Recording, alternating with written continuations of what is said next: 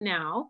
Um, for folks who aren't super familiar with Zoom, just so you know, um, you won't be recorded unless you speak because we're going to record the speaker view as opposed to the gallery view. So um, I'm so glad to see that so many of our prospective law students are on camera. I'm really grateful for for you bringing your faces and bringing your presence into our meeting. There's nothing worse than teaching or speaking into a whole bunch of black little screens.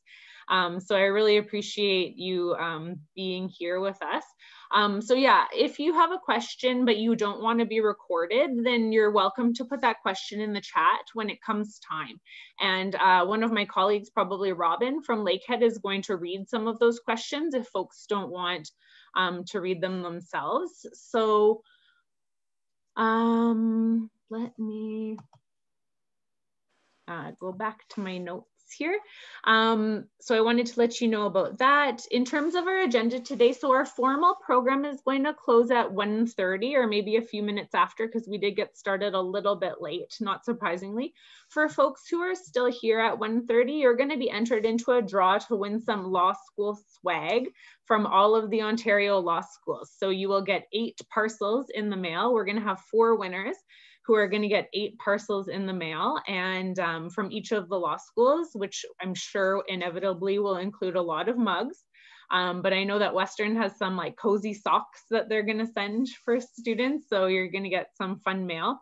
Um, so if someone sends you an email asking you for your address, that means that you are a winner.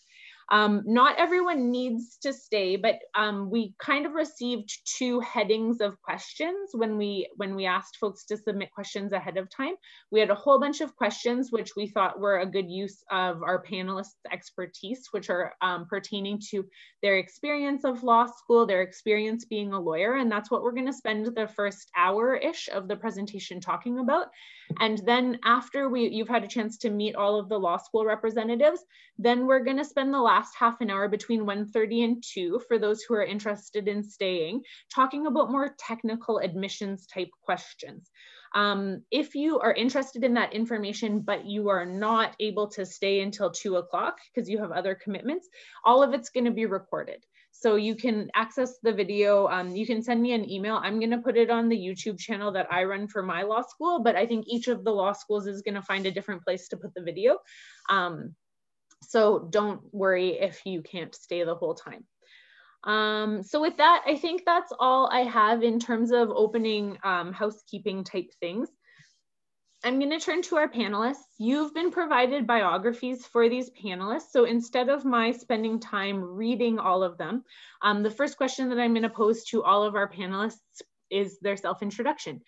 So um, they're going to talk a little bit about themselves and then we're going to move on to your prepared questions. And I can't say thank you enough to everyone who um, submitted questions ahead of time. I was so pleasantly surprised by um, not only the quantity of questions, but the quality of questions as well. We have a whole bunch of really great um, questions to ask our panelists. So uh, with that, I'm scrolling down and um, I'm going to start by asking uh, Jeff to introduce himself. So we have four panelists, Jeff, Sherry, Etienne, and who am I missing? I'm awful, Jamie. And, um, and they are going to do their self-introduction. So Jeff, would you go first, please? Sure, why not? Uh, hi, everybody. Uh, my name's uh, my name's Jeff Warnock. Uh, I, am a, a, citizen of the, the Métis Nation of Ontario uh, from the Georgian Bay community, uh, with, with ties as well to, to, other communities as well within the Upper Great Lakes. Um, but I, I'm just really thrilled to be here. I got to be honest, as as somebody who uh, you know, graduated about 10 years ago now. It's it's so fantastic to see so many students uh, wanting to learn more about applying to law school. And I'm hoping what I can maybe offer to you today is a little bit of a discussion around my path, which has included some work in private practice, some work um, uh, for the Métis Nation of Ontario on, on things like rights assertion issues, and maybe talk a little bit about what I'm doing now, which is in uh, a teaching role as well. Um, yeah, so I'm just I'm thrilled to be here. Thanks. Thanks, Jeff. Uh, Jamie, would you go next? Sure. Hi, everyone. I'm Jamie Lickers. I'm Haudenosaunee. I'm from the Six Nations community here in Southern Ontario. Um, I spent uh, most of my legal career until very recently practicing at two national law firms in the area of Indigenous law primarily. Um, and at the end of my private law practice, I was managing the Indigenous practice group for Gowlings nationally. And I just recently left uh, private practice and took a role with uh, CIBC as their vice president of Indigenous markets. And I started that in October. So I'm now a non-practicing lawyer and, and a banker. So I can answer any questions you might have about either industry. And I'm really glad to be here with you. Thank you so much, Jamie. Um, Etienne, would you go next? Sure. Hello, everyone. I'm really happy to be here uh, talking to you as well. When I uh, was going to law school, we never had Zoom or these technologies to get us all together. So this is really convenient and, and great. Thanks for organizing it. I'm a member of the Binjwabik Zagi Nishnabek, which is uh, close to Thunder Bay, Ontario. Um, I don't like to just limit myself to that community. My family's from the Lake Nipigon region. I have family all around Lake Nipigon, and I acknowledge that there's at least one other person, a student here today, who's from the Lake Nipigon region. So so I'm happy to see that you're here. I've been a lawyer since 2005. I was called to the bar in 2005. I graduated from Osgoode Hall Law School. And back then I chose Osgoode Hall because of um, the great Aboriginal law curriculum and teachers they had at that time. That was, I always wanted to do Aboriginal law. I grew up listening to my grandparents and their siblings and my aunts and uncles and everyone talking about political issues, treaty right issues, and I, it's just kind of something that was it's always been around my uh, around me. So that's why I decided to go into that field. It's something I've been passionate about. So to get there, I went and took a BA in political science from the University of Windsor. And I only did a BA just because I knew I wanted to be a lawyer. So I don't want to do an HBA. Just that was just another year from me getting to my goal.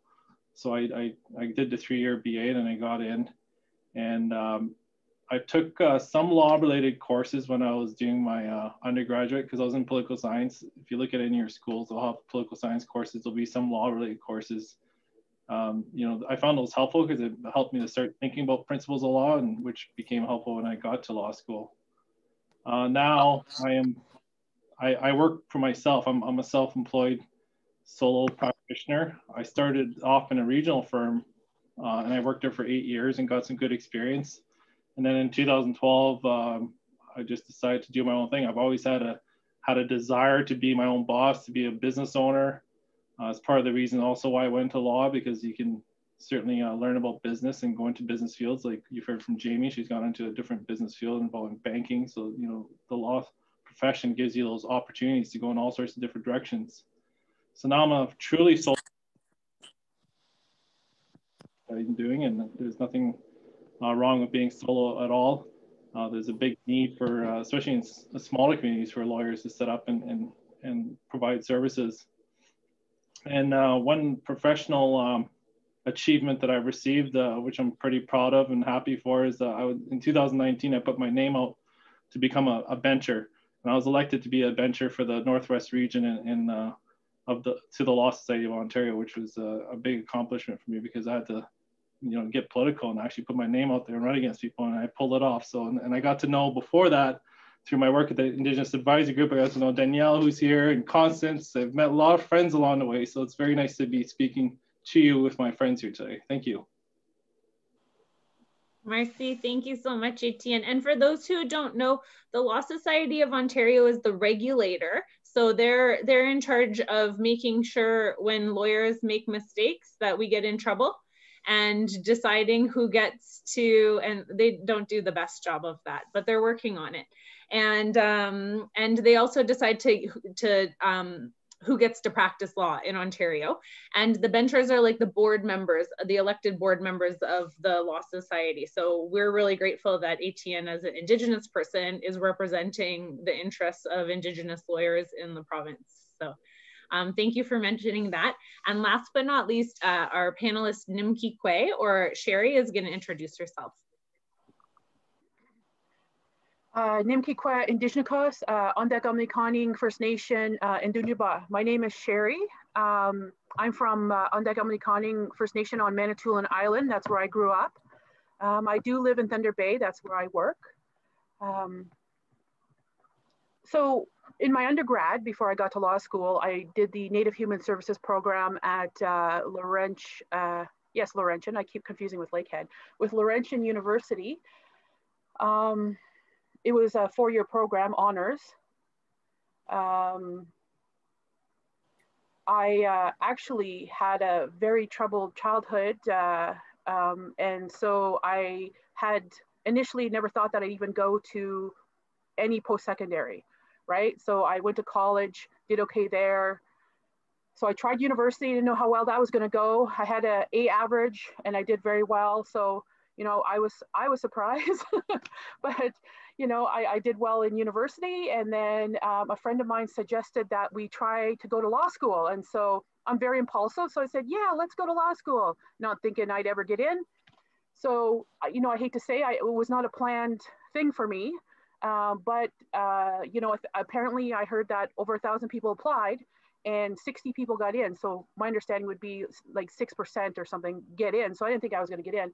And then I got in. So when I got in, it's not like I could say no, right? You're like you got into law school. You're not going to. So I that's how I ended up in law school. So I I, I can give advice as far as that, or or you know, but um, uh, I just wanted to kind of put that out there because it wasn't really something I'd planned on. So as far as uh, telling anybody about what sort of undergrad to do, I would just suggest perhaps doing something that you're very interested in, that you would do um, do well in, right? Because you need the marks you need good marks to be able to get into any of the law schools. And when you get there, perhaps you don't have any sort of law background, like I, I didn't. I, I did social work, Native Human Services. And um, it was just a little bit harder for me in the first year because I didn't have that background, right? So that's the only thing I would suggest is if you want to have a little bit of a more background when you get there, take, takes at least something in law, right? Some sort of background. But so I did struggle a, a, little bit more than my peers for that reason. But you you pick it up by by you know halfway through second year, you've you're pretty much caught up to everybody else anyway. Um, so I just want to mention that I work as a criminal defense lawyer uh, today. I've uh, graduated and got called to the bar in uh, June 2019 which you know I practiced for I'd say about good six, seven, eight months before the pandemic, and then it's just been, you know, uh, really hasn't been a whole lot going on since then. So I don't have a whole lot of experience as yet, but I do have some experience, and you know I'm happy to be here today, and uh, nice to meet everybody. Miigwech.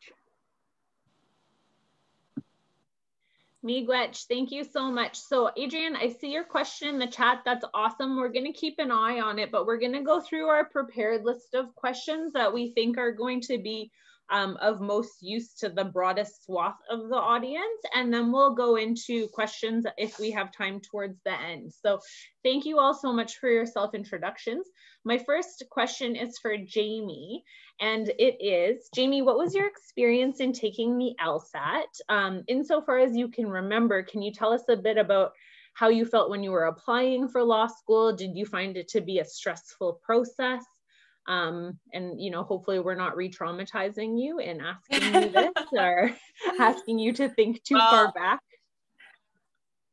I don't know that this is going to make any of the students feel better, but the LSAT process was a lot less stressful than the bar exam. So if you're going to get on this path, um, I hate to break it to you, there there are a lot of stressful moments that will follow your decision um, you know, I, it's funny, I always wanted to be a lawyer, and no one in my family really knows where that conviction came from because there are no lawyers in our family. I didn't grow up knowing any lawyers. I must have seen a television show or something late at night sneaking into my parents' room when I wasn't supposed to. And there must have been some lawyer on a show that I thought was cool or looked like they had a nice life or a nice car or something. But um, as a result, it unlike Sherry, who has a completely different story, um, I am not impulsive. I'm the opposite of impulsive. I'm a planner.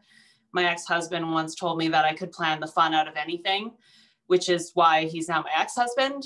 Um, but all that to say, I knew exactly what I wanted to do, and so I did everything that I could to make that a reality for myself. Um, I took an LSAT prep course. I asked a lot of people who were in law school how how they did well on the LSAT. Um, I got my hands on every single practice LSAT that I could, and after taking the prep course, I I did um, practice test after practice test under exam conditions, so timed um, the way that it would be during the LSAT. Um, and that was my approach. And I probably even had some Excel spreadsheet or something with like a chart of timelines and how many tests I wanted to complete a week and God knows what else because I am a planner, as I've mentioned. So, um, but that it worked for me. Um, and I also find you know, I'm the kind of person that if I have a plan and I'm following my plan, that is how I remove stress from my own life. Um, some people find being subjected to like rigid rules and plans and timelines might actually be more stressful for them, but for me, it lessens my stress. So that worked for me. And obviously, obviously the results paid off because I did well enough on the LSAT to get into law school, and uh, and the rest is history. Uh, Nyawei, thank you so much, Jamie. So I I know that some some of the um, questions ahead of time were about the actual scores that you need to get into law school, and we're going to deal with that after we close the event at 1.30 in the last half an hour talking about law school admissions, because it varies greatly from school to school. Um, but thank you, Jamie, for sharing that with us. My next question, and I'm going to try to move fast. I think we could spend 45 minutes talking about any one of these questions, but we're going to try to um, cover as much as we can in our short amount of time together. So Sherry, I'm curious to know how you survived law school. What were the biggest struggles you faced while you attended law school? And do you have any reg regrets? Well, I'm not sure I survived law school. No, kidding. I don't know how, what to say about that particular question. I found it was very difficult because I came from such a, a holistic view of healing, love, respect, the seven grandfather teaching. So it was really hard for me to put that aside because it was just how I grew up. Like it wasn't even something that I thought of until I got to law school. And then law school is about like, you know, you put all those emotions aside, it's just the law. So I also had a lot of pushback uh, while I was in school from um, colonial settlers. They didn't like um, a lot of the indigenous law. Um, I feel like sometimes maybe it was the fact that they felt like we were getting something they weren't. So I was ostracized at times whenever I tried to push back on any of that stuff. So after first year, I just stopped saying anything um, about that as well. Um, so that was sort of difficult. At the time, our law school was just starting out. We were the third cohort um, at the Bora Laskin Faculty of Law. So we didn't really have um, social worker or like any um, guidance or, or any or assistance from anybody at that time. But uh, I did start the, uh, did assist with the, um, we have uh, ILSA, the Indigenous Law Students Association at our school. So I did um, assist in getting a room so that we could have our own space, right? Our own indigenized space there, and I believe we still have it. We started out with a very small room on the main floor. I don't know if Robin Sutherland knows, but it was actually his office. It was just a little little areas with the size of a bedroom, maybe, maybe a little bigger. Um, and then we went from there. I uh, did a, a, plan to uh, the actual to the university, and then they uh, allowed us a bigger space, and they actually let us pick a bigger space up on the top floor, which we picked. So there is a nice space there now. Um, and that was really what helped me. I would go there just to clear my mind and be alone. And so that was really great. And then um, I started a mentorship program as well because I realized that I didn't have any supports. So I wanted to make sure that other students who came, especially Indigenous students who came, had supports as well. So we started the Indigenous um, mentorship program. So what we had done is had like some of the lawyers that I'd known, upper law students, Indigenous law students, mentor some of the younger ones, right? I'm still in touch with some of my mentees as well, still assisting them. Um, one of them, I'm very proud to say, is uh, articling with the SCJ. And my uh, other um, mentee is will be articling with the SCJ next year. So I like to think I'm part of that, but I'm probably not. Maybe very proudly say that. Um, so uh, as far as uh, applying to law school, um, I had, I think I just kind of went through that, what happened there. And uh, I, I'd only picked Bora Laskin Faculty of Law. That's the only school I wanted to go to. Um, it had the um, Indigenous component and, and that's really all I wanted to do at that point, right? and so I, I, did find it to be a very stressful process for sure, I guess, the LSAT. And um, um, I would definitely uh, reinforce the things that Jamie had stated about the LSAT to make sure you prepare. Um, I, I, would definitely recommend taking a course. You know, it's all up to each person. I realize too, like what your style is and what you need as well, right? For me, I really kind of needed somebody else sort of to explain things to me a little bit more. So that's where I would go with that. Um, so as far as having any regrets, I don't I don't have any regrets, that's for sure. I mean, I'm a lawyer now and I feel like I can help as many people as possible, especially indigenous people and also marginalized, racialized people who are I believe victimized by our uh, criminal justice system, by the justice system period. And so it breaks my heart that that's the process. And I mean, there are a lot of times maybe I used to cry maybe once a week, just trying to get through it. Um, because it is so difficult to realize that we criminalize a lot of a lot of indigenous people and we and criminalize marginalized people and stuff like that. So you know i don't have any i don't have any regrets for those reasons because i'm able to help people that i that i want to help. Miigwech. thank you so much uh, Sherry, thank you for sharing, especially the importance of community, both having the community within the law school and then looking to the Indigenous lawyers and the folks who've come before you. I have also personally found that a huge source of strength. And when our panelists got together to meet, you know, we spent the first kind of 20 minutes talking about all the people we know in common, because it really is a small world. And that's an important thing to point out. So I appreciate that. Our next question is for Etienne. Um, what resources did you use in law school and how did you manage stress and the heavy course load? What support services for Indigenous students are typically available in Canadian law schools? And I guess you can speak specifically to your um, experience at Osgoode, please. Sure. This is a, a very good question and, and there, there's a lot to answer here. Um, I'm gonna give you just some high level points to think about.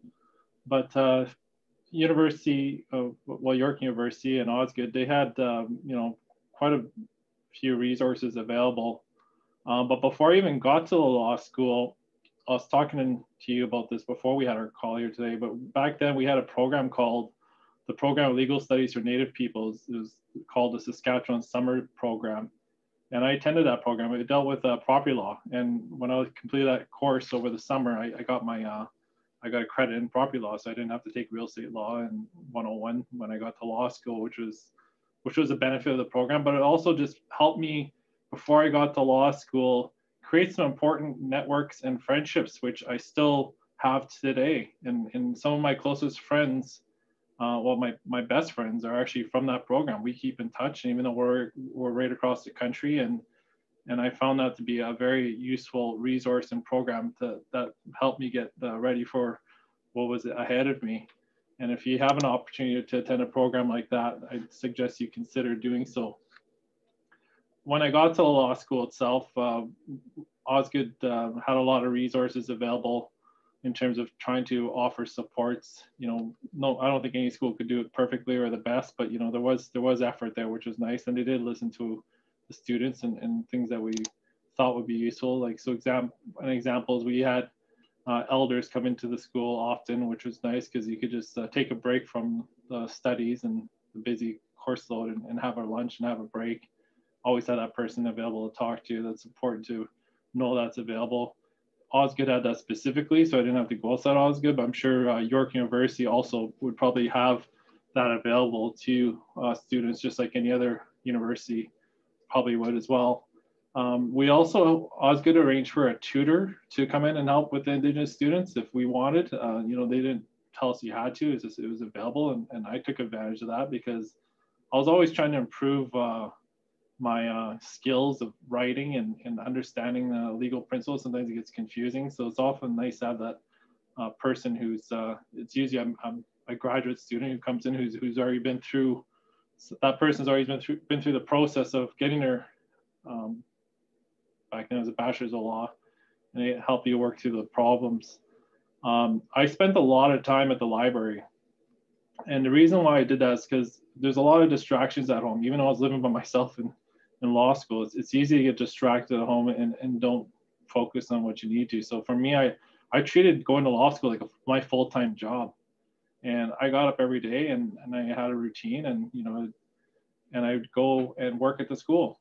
And in Toronto, because of traffic jams and all that, I never left the school till after 7 p.m. back in the day. I don't know how, how late it's gotten now, but you know, it, just, it became a routine, and and I always just you know tried to chip away at the pile of work that was uh, thrown at us because there is a lot of work, there's a lot of reading, and you need to work at it. It's it's not going to be a light course load. It doesn't matter what school you go to, it's going to be busy. Um, we have back then we had computer labs on campus. I have no idea how that's done now, but you know those are awesome, useful resources. Uh, people would be around there as well. Uh, at Osgoode, we also had an Indigenous law students office within the school itself. Uh, I can't speak to whether or not that's still there now, but that was a nice place to meet and hang out sometimes with, with some of your friends from uh, from school. And there's also just the resource of each other. And, and I want to just emphasize this because I didn't really appreciate this so much in first year as, as opposed to the second, third, and second and third year. And that's just the importance of um, reaching out to others in your class. Some of these people you you know you may not have anything in common with them from where you come from or any of that, but when you start talking a lot, it's it's quite interesting how you have that in common. And uh, I've I've became friends with a few people in law school, and we haven't really kept in touch afterwards. But at the time, we were in study groups together, and, and we helped each other out. We talked about the problems, we worked on preparing for the exams, and, and talking about the legal principles, and and that's very important because law can be very uh, it's very easy to just go bury your face in the books write your papers and just not come out. And you, you that's very it's dangerous to do that. It's important to, to come out and, and try to facilitate and and take advantage of those opportunities to network and, and help uh, which will help you learn at the end of the day. And then I also looked at the broader community resources, and that's any any city you go to should take a look and see what's available for you in the broader community. Uh, so, for example, there is um, at this, like I mentioned, at the, at the campus itself, there's other programs available for Indigenous uh, students, and there's often associations and resources. Toronto itself has the Friendship Center, and there's all sorts of program programming through there. And you know, Toronto had all sorts of other Indigenous events that you can attend throughout the year, which was nice. And then it's also just important, I think, to just think about mental health resources and just like just keep in mind that you know it's going to be challenging but you need to find some balance wherever you can to, to do other things. And for me um, you know the, I, I took advantage of some of the intramural sports that were available through uh, the law school. So basically the law school would be submitting teams and you get to know some of your classmates like that. Um, york has got pretty good fitness facilities on campus which is nice to go take a break and go work out. And one, one thing that I just remember is like after first year, I realized how warm it was in Toronto and I'm a very well, I was more of an outdoorsy person back then in terms of you know camping and stuff like that. So in the fall time, in second and third year, I brought my camping gear down. I just brought my tent and, and I went camping. I went up to Georgian Bay. It was only like two hour ride from from the law school and found a spot at one of the nice beaches and that was part of my fall routine. I'd go up there and enjoy the camping while it was cold up north down there. It was certainly warm. So those are just some thoughts and suggestions I have for you to think about. Thank you. Marcy, thank you so much, Etienne. So um, for those who don't know, one of my nicknames is Demanda. And I am now going to put my Demanda hat on and ask our panelists, challenge our panelists to answer all of the questions in two minutes or less.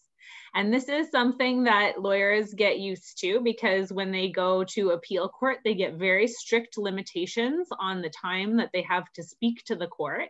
So, in the spirit of practicing your oral advocacy skills, Jeff, I am going to ask you the next question, which you have a two minute limit on. Um, and that is what is the process of becoming a lawyer in Ontario? Can you tell us a little bit about what articling is? And can you end by telling us if everyone who goes to law school necessarily has to become a lawyer? That's like four questions, Demanda, and you're giving him two minutes. I, got 30 I don't know seconds if that's here. fair. Well, Amanda, is, you're giving me. Is, there's of... no fair. There's no fairness review here. Oh, it's fine. You're giving me flashes back to uh, being in front of a motions judge who very clearly wants me to get my point out and and move on. Um, so I'll try to be as as succinct as I can. I, I put together a few notes just thinking about these types of issues. Um, in terms of what the process is like to become a lawyer, um, it's relatively uh, straightforward. It's a time it's a time consuming process. It takes a lot of work, but it's it's relatively straightforward. Um, the typical experience, um, I mean, experiences vary, but you'll you know you'll typically complete whatever it is that you're going to be doing for your degree program. Maybe you'll even do several degrees before you think about going to law school. Um, you'll go and do your your three year law school program at any of the any of the the Canadian law schools. Um, you'll write the bar exam, uh, which is a series of, of, at least in the Ontario context, it's a series of two exams. Each are they're each a day long, um, and then after you've completed your bar exams, or sometimes before, you'll do what's called the articling or law practice program. So what does that mean? Um, the Law Society of Ontario is actually a really great resource if you're interested in the Ontario context. Has a really well laid out step by step how do you become a lawyer chart that kind of lays out these these steps in detail. But um, generally speaking, you will, uh, at the end of your law school career, complete what's called an articling placement. It's a 10 month work placement, basically, where you're going to work uh, either in a firm or maybe you'll work in government. Wherever you're working, you're working under the supervision of practicing and licensed uh, lawyers. And you'll work under their supervision. They'll delegate work to you, they'll supervise your work in a workplace, uh, a work placement for 10 months. Um, upon the completion of that, then you'll get called to the bar, you get your own license, and you're then free to practice law. Um, the alternative, and this is relatively new, recent, is the, the LLP program, um, which is a sort of replicates the articling experience, but you don't need to do that with a set employer. They're run through the universities. So the um, I believe there's one run through the University of Ottawa uh, in French but I could be corrected on that. But I know that the English one at least is run through Ryerson. Um, so you can do that as well. Um, and then in the last question, I'll try to be as quick as I can. In terms of whether everybody who goes to law school either you know needs or wants to become a lawyer, the answer is no. Um, I would say the majority certainly who go to law school plan to at least um, complete their degree, get called to the bar, they get their license. That's the typical experience. But once you've gotten to that stage, um, career paths vary greatly. Um, some will go into private practice, some might go work for government, but others might start their own business. Um, I have colleagues of mine who never practiced law. They got their law degree, got called to the bar, got their license, immediately started their own business. Um, others will go into public policy. Others might then pursue an academic career. They might do their PhD. Um, so there's no one path. Um, you can you can do a lot with a law degree. That's one of the great advantages of doing a law degree is it sets you up for a lot of great opportunities. So you certainly don't need to practice law if you go to law school because that's not a universal experience. Was that close enough to two minutes? That was that was awesome. That's so okay. good. Okay, I, I kind of rushed I'm through just, a lot there, but yeah. And as a good follow up, so Sherry, can you just quickly tell us a little bit about what the LPC, that Bora Laskin Faculty of mm. Law offers, is, and your experience uh, there? Uh, well, Bora Laskin offers the IPC, which is the Integrated Practice Curriculum Program.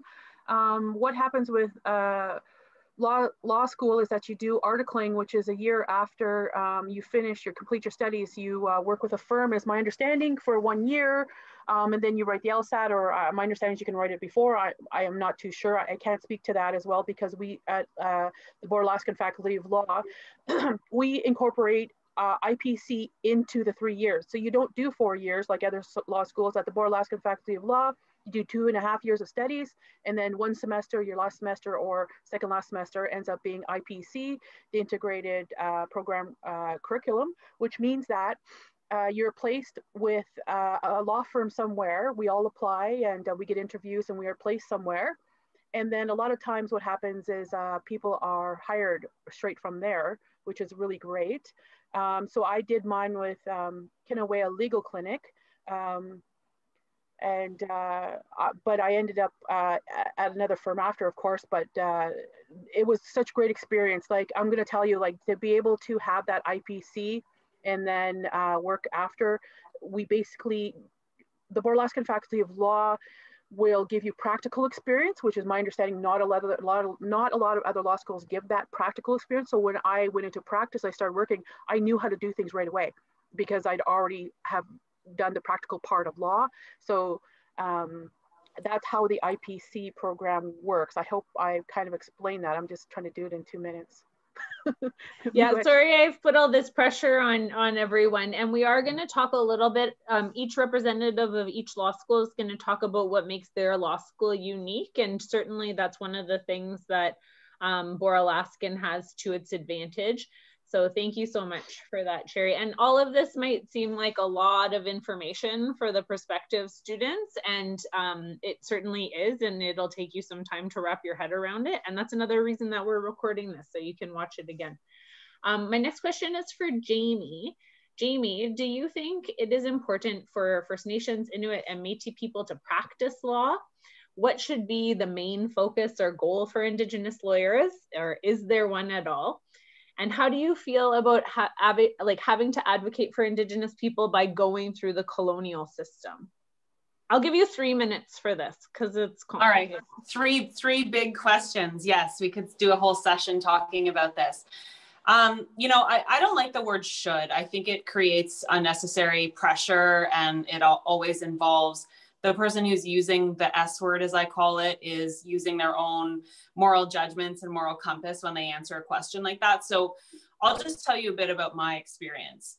And, and everyone has their own experience. So when I went to law school, I did not want to practice Indigenous law. I wanted to go to Bay Street and I wanted to be a corporate commercial litigator.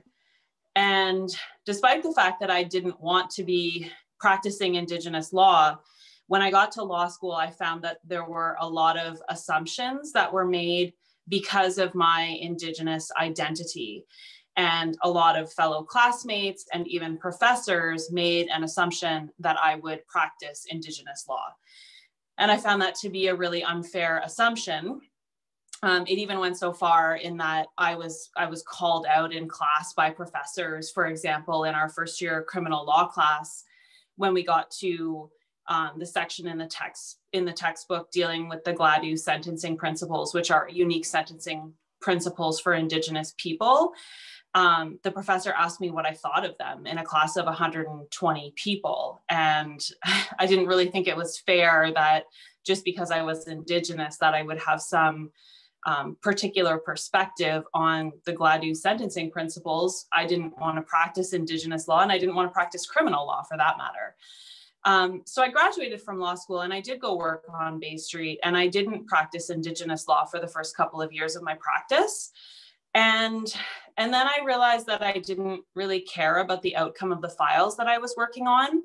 And then I sort of came to the conclusion that I would find the practice of Indigenous law more fulfilling than just a general corporate commercial law practice. And so I ended up switching firms and then focusing my practice in that space. But what I will say is that the practice of Indigenous law is no longer just litigating Indigenous rights against the federal government. Um, I was a solicitor more than I was a litigator. I drafted trust agreements for Indigenous communities that were settling claims with the federal government for hundreds of millions of dollars. Um, and then I I developed a tax expertise because there are particular tax rules that apply to Indigenous trusts. So I was a mix of a tax and a trust lawyer, which is purely solicitor's work. And what I've come to learn over the last decade of practicing Indigenous law is that there's a huge demand for solicitors in every area. So you can service Indigenous clients and still practice uh, corporate law.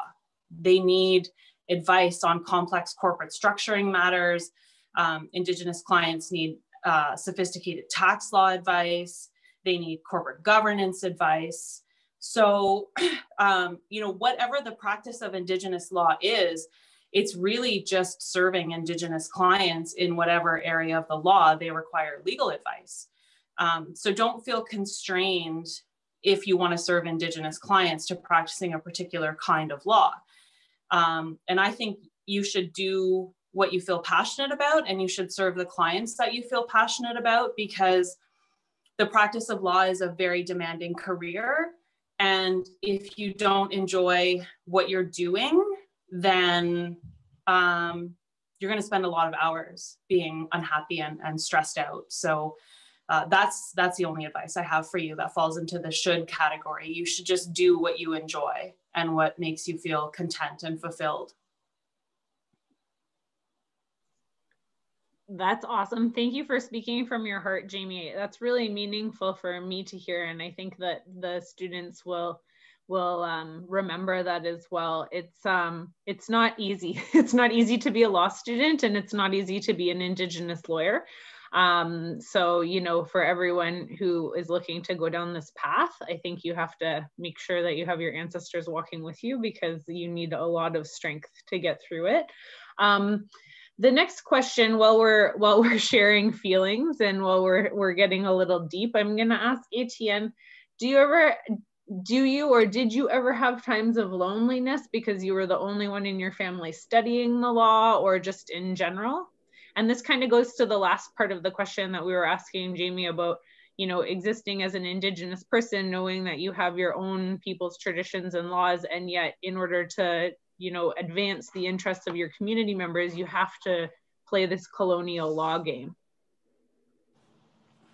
Yeah, um, there's no doubt um, you're going to feel times of loneliness in, in law school, unfortunately. And, and I think uh, it's just, especially when you start looking at the history of the way uh, cases and the way government has treated indigenous people, it's, it's hard not to, you know, feel down at times and feel like it is a huge mountain that we have to overcome.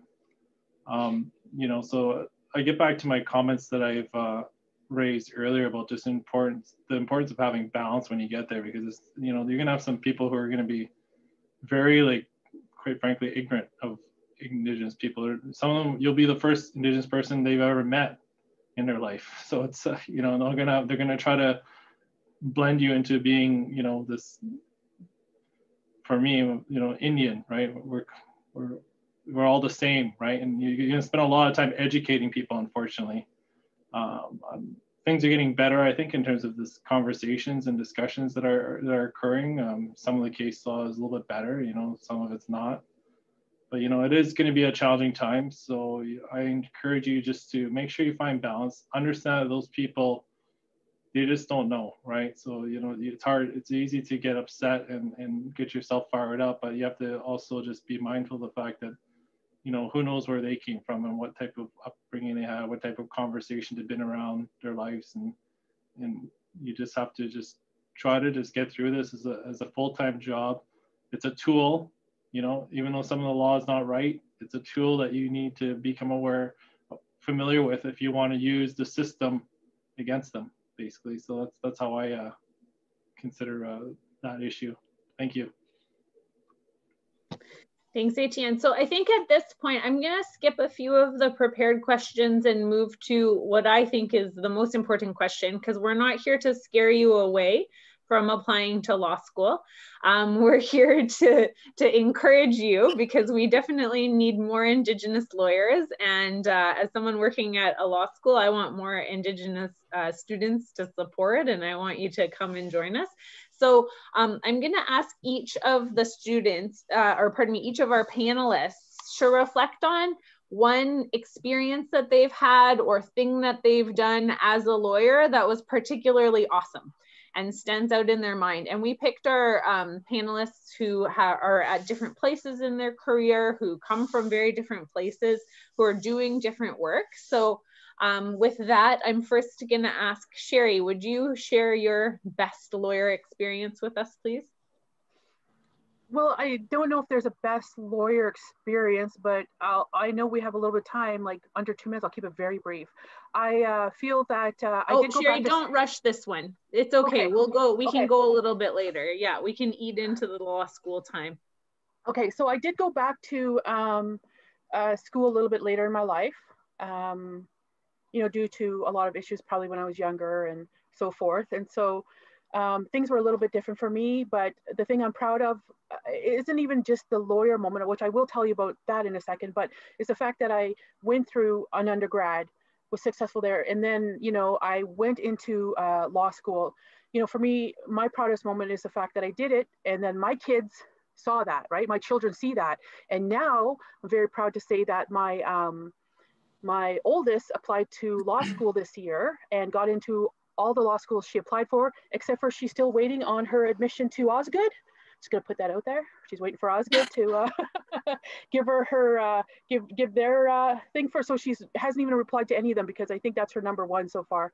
Um, but I'm very proud of her. I'm very proud that I was able to get through that. And then now my my younger ones have aspirations to do. It's not even a thought. They're just like I'm going to do this, right? So they saw mom do that, dad do that sort of thing too. Um, but as far as uh, the law, um, I have those days where you know clients I get them out on bail or they get um, charges withdrawn and then they're you know a lot of them are like okay bye. But some days you'll get clients who are like thank you so much you know and they're just they don't have to be but for me just that makes my day. And you don't hear it very often but i hold on to that for the next time until i hear it again right? That's just kind of what keeps me going is like people are appreciate that you're there and helping them, especially too if you're helping Indigenous clients or marginalized, racialized people. And uh, there's that connection. And then they're always grateful to have you there as another Indigenous person assisting them too, which is always great. And I appreciate that. I appreciate that too from the clients when I, will get a phone call. I'm like, you're an Aboriginal lawyer, right? I'm like, yes. And they're like, okay, I want you to work for me. So I'm like, okay, you know, so there's that connection there too. So I guess those are probably my best moments. I, I don't know if there's because we're in law right? So it's it's not it's not uh, generally a good time when you're meeting clients right? So i think those are probably my best moments. Miigwech. Miigwech thank you so much. Yeah i think the the how much it means to an, an indigenous person who's in conflict with the canadian colonial legal system to have someone who they know is if not from their community from a community that gets them and gets it like that is invaluable. And um, the work that you're doing is really important sherry. So, so thank you so much for uh, sharing that with us. Uh, yeah, jeff just, sorry, just to add sorry just to add amanda you're yeah. that just kind of sorry it'll just be a second.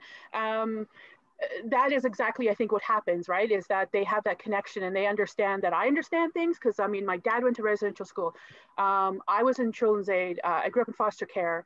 I was part of the 60 scoop. So i'm able to have that that understanding with the clients as well and i think that's what's what really helps as well.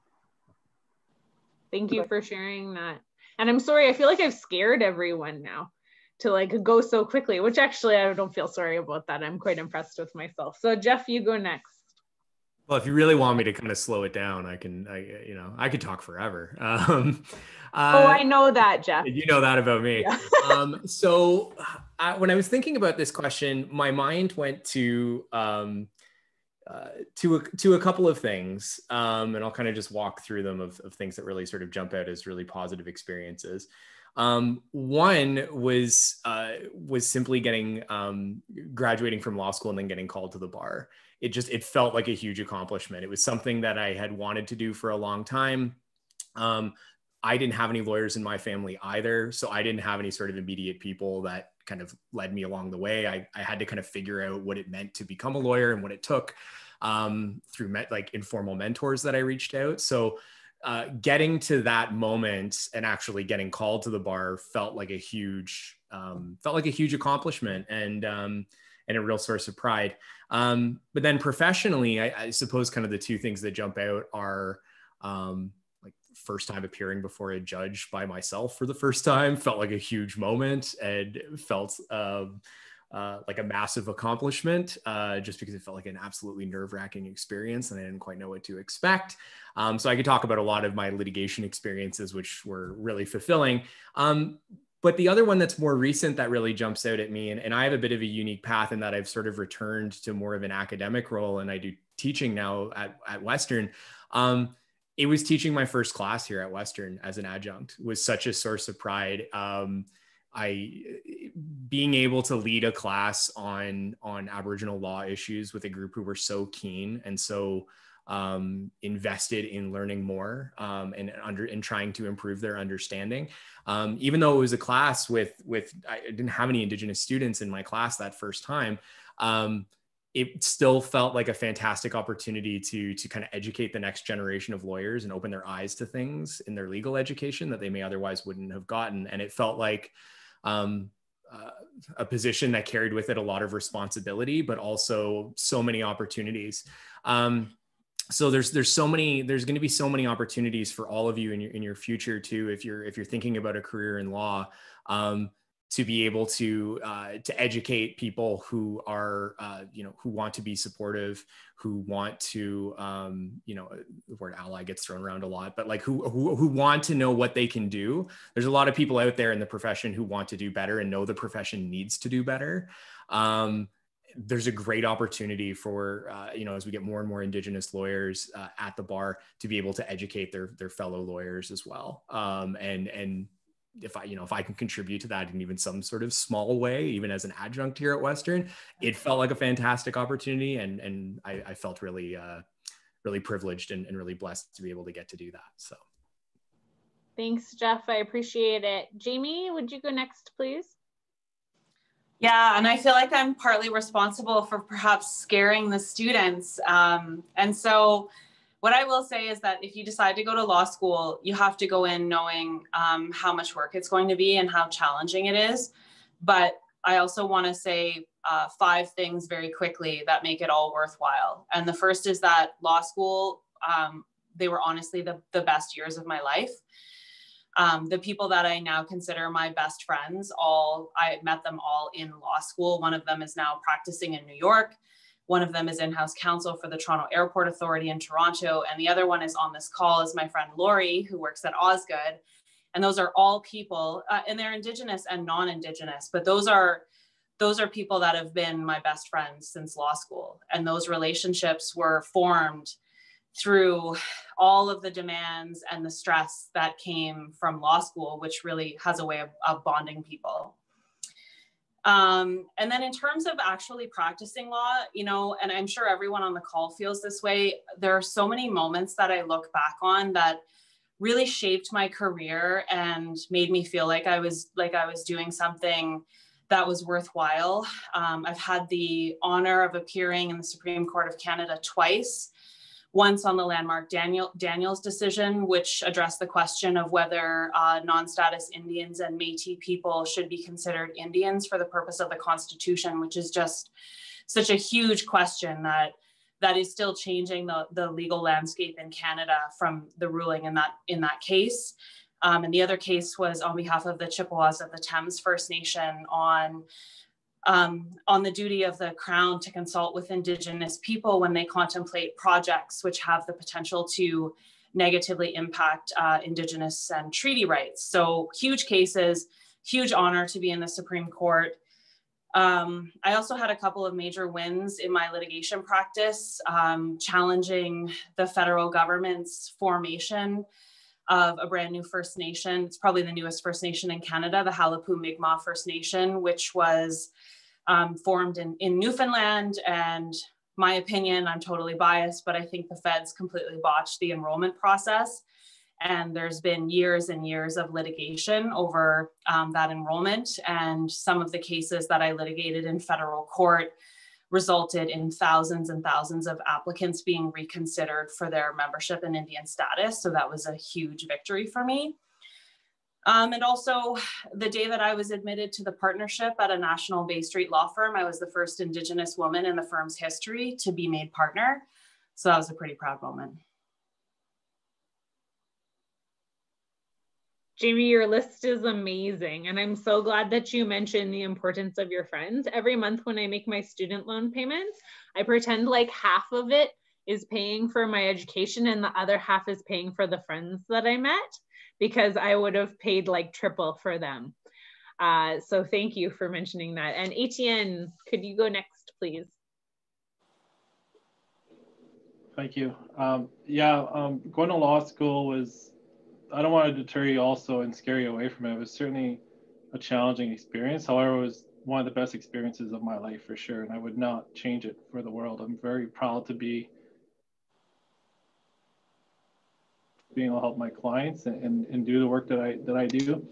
Um, and I wouldn't want to go back and change that. And I and I cherish my friendships and the connections I've met throughout my career so far.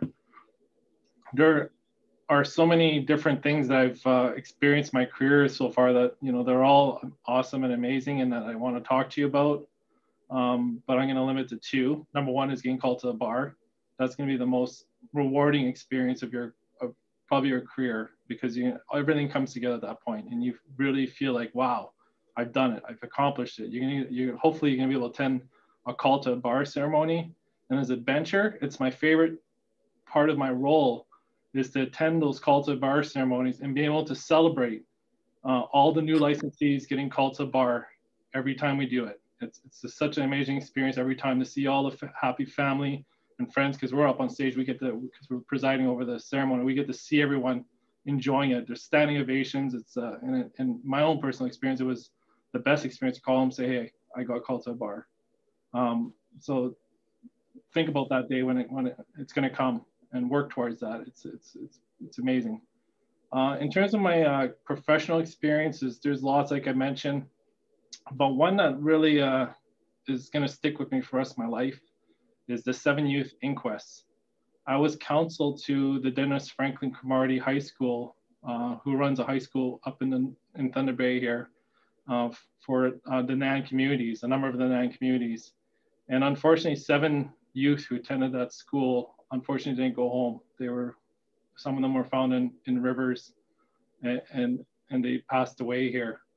And NAN had advocated for a long time for, for an inquest. Um, and it was a real eye-opening experience, even being as an Indigenous person, to see the broader issues that are out there. You know, my client had the biggest target on their back because they're running the high school, and, and unfortunately, these kids passed away while they're in their care. But when we started digging down into the issues, we really got into the politics of, you know, who's not stepping up to the plate to honor their obligations, uh, you know, and a number of different issues like that. And for me it was a it was a my client it was a very important case to them. My the ed for my for my client she sat through the whole entire thing and she was there with me 100% and that's you know being able to work through a, a very complicated file like that with a client is just, it's it was a very uh, rewarding experience and and we're, we're really good friends. We keep in touch all the time even though I'm not their main counsel and all their other work we still keep in touch. Uh, so that went on for eight months here in Thunder Bay, and and and the model of the inquest or the, the coroner's court is we speak for the dead to protect the living, and I think that happened. I think there's the kid, the story of the seven kids, um, certainly is going to protect the living into the future, and I encourage you to read. Um, Tanya Talaga's book on it, Seven Fallen Feathers. She's it's an award-winning book. She does a summary of of the of the proceeding and the stories. And um, you know, for me, that that's also been a transition point because uh, that was the second big inquest I was involved with. And just recently, I was selected by the Ontario Coroner's Office to be one of their roster manels to become a inquest hearing officer in Ontario. And my training starts next week, and and I just highlight that for you just to show you where a lottery can take you and the path that you know you could go down. And for me, it's it's resulted in me becoming an inquest hearing officer now, where I'll be the, the presiding hearing officer over inquests that are assigned to me in the future. Thank you. Thank you so much, Etienne, and congratulations. Um, thank you for agreeing to do that work on behalf of our communities because to be sure it won't be easy. Um, so I am alumni of U of T, and I'm just going to jump in and say I, I articled with an organization called the Association in Defense of the Wrongly Convicted, which is now Innocence Canada. And while I am not a panelist, I just wanted to share that as an articling student, I worked on uh, the case of a non-Indigenous man, a settler man named Glen Assoun, who was wrongly convicted of murder about 20 years ago. And uh, as an articling student, I met him in prison and, and had him sign some documents. And we submitted an application to the Minister of Justice for post conviction review of his file. And a couple years after that, he received bail pending his um, the review of his wrongful conviction.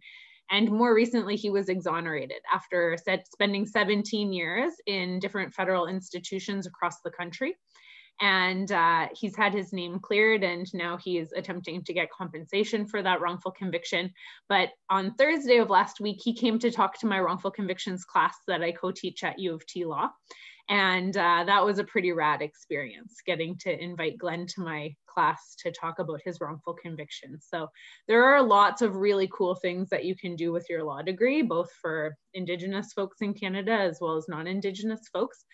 Um, we have really skipped over a lot of the amazing questions that you asked. So what I'm going to do is actually take all of the questions that haven't been answered and I'm gonna share them via email with our panelists and ask them to write up their own little responses. And then we're gonna post that somewhere on the internet and we'll send you a link to it so we'll take the questions from the chat and I'm really grateful to Lori who's been responding to some of the questions in the chat. We'll take those, we'll take the questions that were submitted ahead of time and we'll answer those in writing and we'll give those to you after the fact. But um, for now, I am going to turn to the second part of our presentation, which is giving all of the law school representatives um, an opportunity to briefly introduce themselves and their law school. Um, we are going, oh, maybe before I do that, because actually our panelists might want to sign off. So um, before we do that, I'm going to thank Jeffrey, Etienne, Sherry, and Jamie for their time. Um, we, I mean, it's pretty obvious how rad all of you are. And uh, we're super grateful that you came and shared just a little bit of your stories. Um, just so you know, Dr. Philip Drew of Queen's Law, who's going to introduce himself um, shortly. I like to call him Dr. Phil in my own head. He has commissioned paintings as gifts for each of our speakers as well as for Elder Constance um, by an emerging artist from Sandy Lake, which, uh, whose name is Miles Kakagamic. And Lori is going to pick these paintings up from Miles and arrange to have them shipped to each of our speakers and Elder Constance. So that is our gift for you, which you should look forward to receiving in the mail. Um, but really um, heartfelt thank you from on behalf of myself, the rest of the organizers, and all of the prospective law students are, who are here.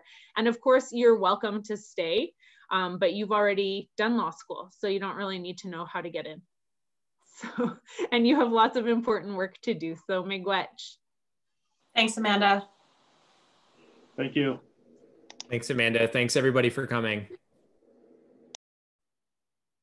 And I'm sure you can Google any of the speakers if you want to try to get in touch with them and ask them specific questions as well. Um, Can I just add, Amanda, that I think um, I want to put out there that Robin Sutherland, our Dean Hughes, and everybody else at the Bora Laskin Faculty of Law are amazing. So that's my pitch as well for Bora Laskin Faculty of Law. Miigwech, it was nice to meet everybody and we'll hopefully see some of you soon. Miigwech. Miigwech, thank you so much, Sherry. That was a good advertisement at the end. I hope they give you 10% of tuition revenues from Indigenous students who are present here today. Um, I'm just joking, obviously that's not gonna happen. Um, okay, so we are now going to move to our short introductions and the first school that is going to be called on is Windsor. So Michelle, would you please unmute and introduce yourself and your school?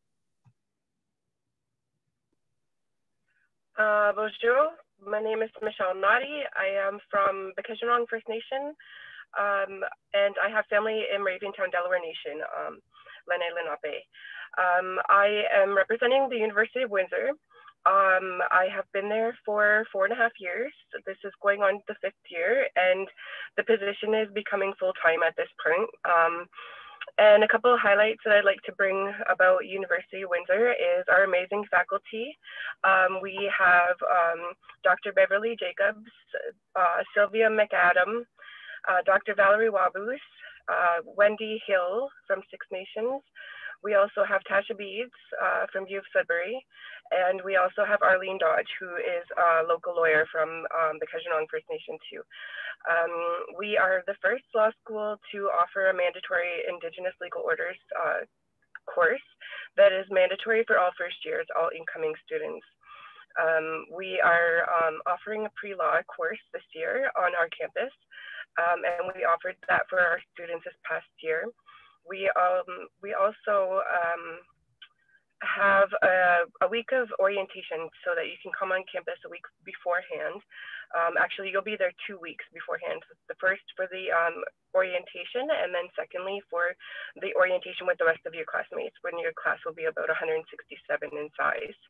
We um, recently created the um, Indigenous Legal Orders Institute, and through the Institute, we bring in Indigenous scholars every month. Um, and we host an Anishinaabe camp every year in Bkejwanong at Walpole Island. And we're looking to start um, Haudenosaunee camp as well in Six Nations with Dr. Bev Jacobs, who is also Associate Dean. Um, I don't, I'm not sure if I went over my time, but I'll stop there. no, it was excellent. I want to go to Windsor now. Uh, no, I'm just joking. I would never go back to law school. Once is enough. Thank you so much, Michelle. Okay, so Ryerson is the newest law school in Ontario. So I'm going to hand it over to Landon. Are you going to speak? Or yeah, Scott? Uh, no, I'm going to speak. Scott couldn't make it. Um, so my name's Landon Chain. Uh, I'm the student recruitment coordinator at Ryerson Law. I'm, for, or I'm uh, from Métis Nation, Alberta and we're the new kid on the block. So this is this year right now is the first year Ryerson's had a law school. So we're in the middle of a bunch of firsts. Um, our students are currently establishing their own Indigenous club. Um, and the big thing that separates Ryerson from most of the other Ontario law schools is we also have IPC, uh, like Sherry mentioned, uh, Lakehead has. So when you go to Ryerson, you don't have to do the 10 month articling placement. It's built into the curriculum and there's a work placement component as well. Um, I'm not sure how the uh, employment's gonna turn out from that because we only have first years right now. No one's actually made it all the way through. Um, and on top of that, because we're a newer school, we focused a lot on technology. So our students have to take mandatory um, coding courses and there's like a technolo or technological intensive they have to take. And they did that uh, a couple weeks ago. And the focus of that project for them was building an access to justice app on your phone, um, which is a really interesting project. Um, I'm trying to think if there's any other high level thing I want you to know about Ryerson before my time's up. Uh, yeah, we're, we're new and lots of firsts, and the students have a lot of opportunity to start clubs and initiatives that they want to because none of those things are set in place yet. That's Ryerson.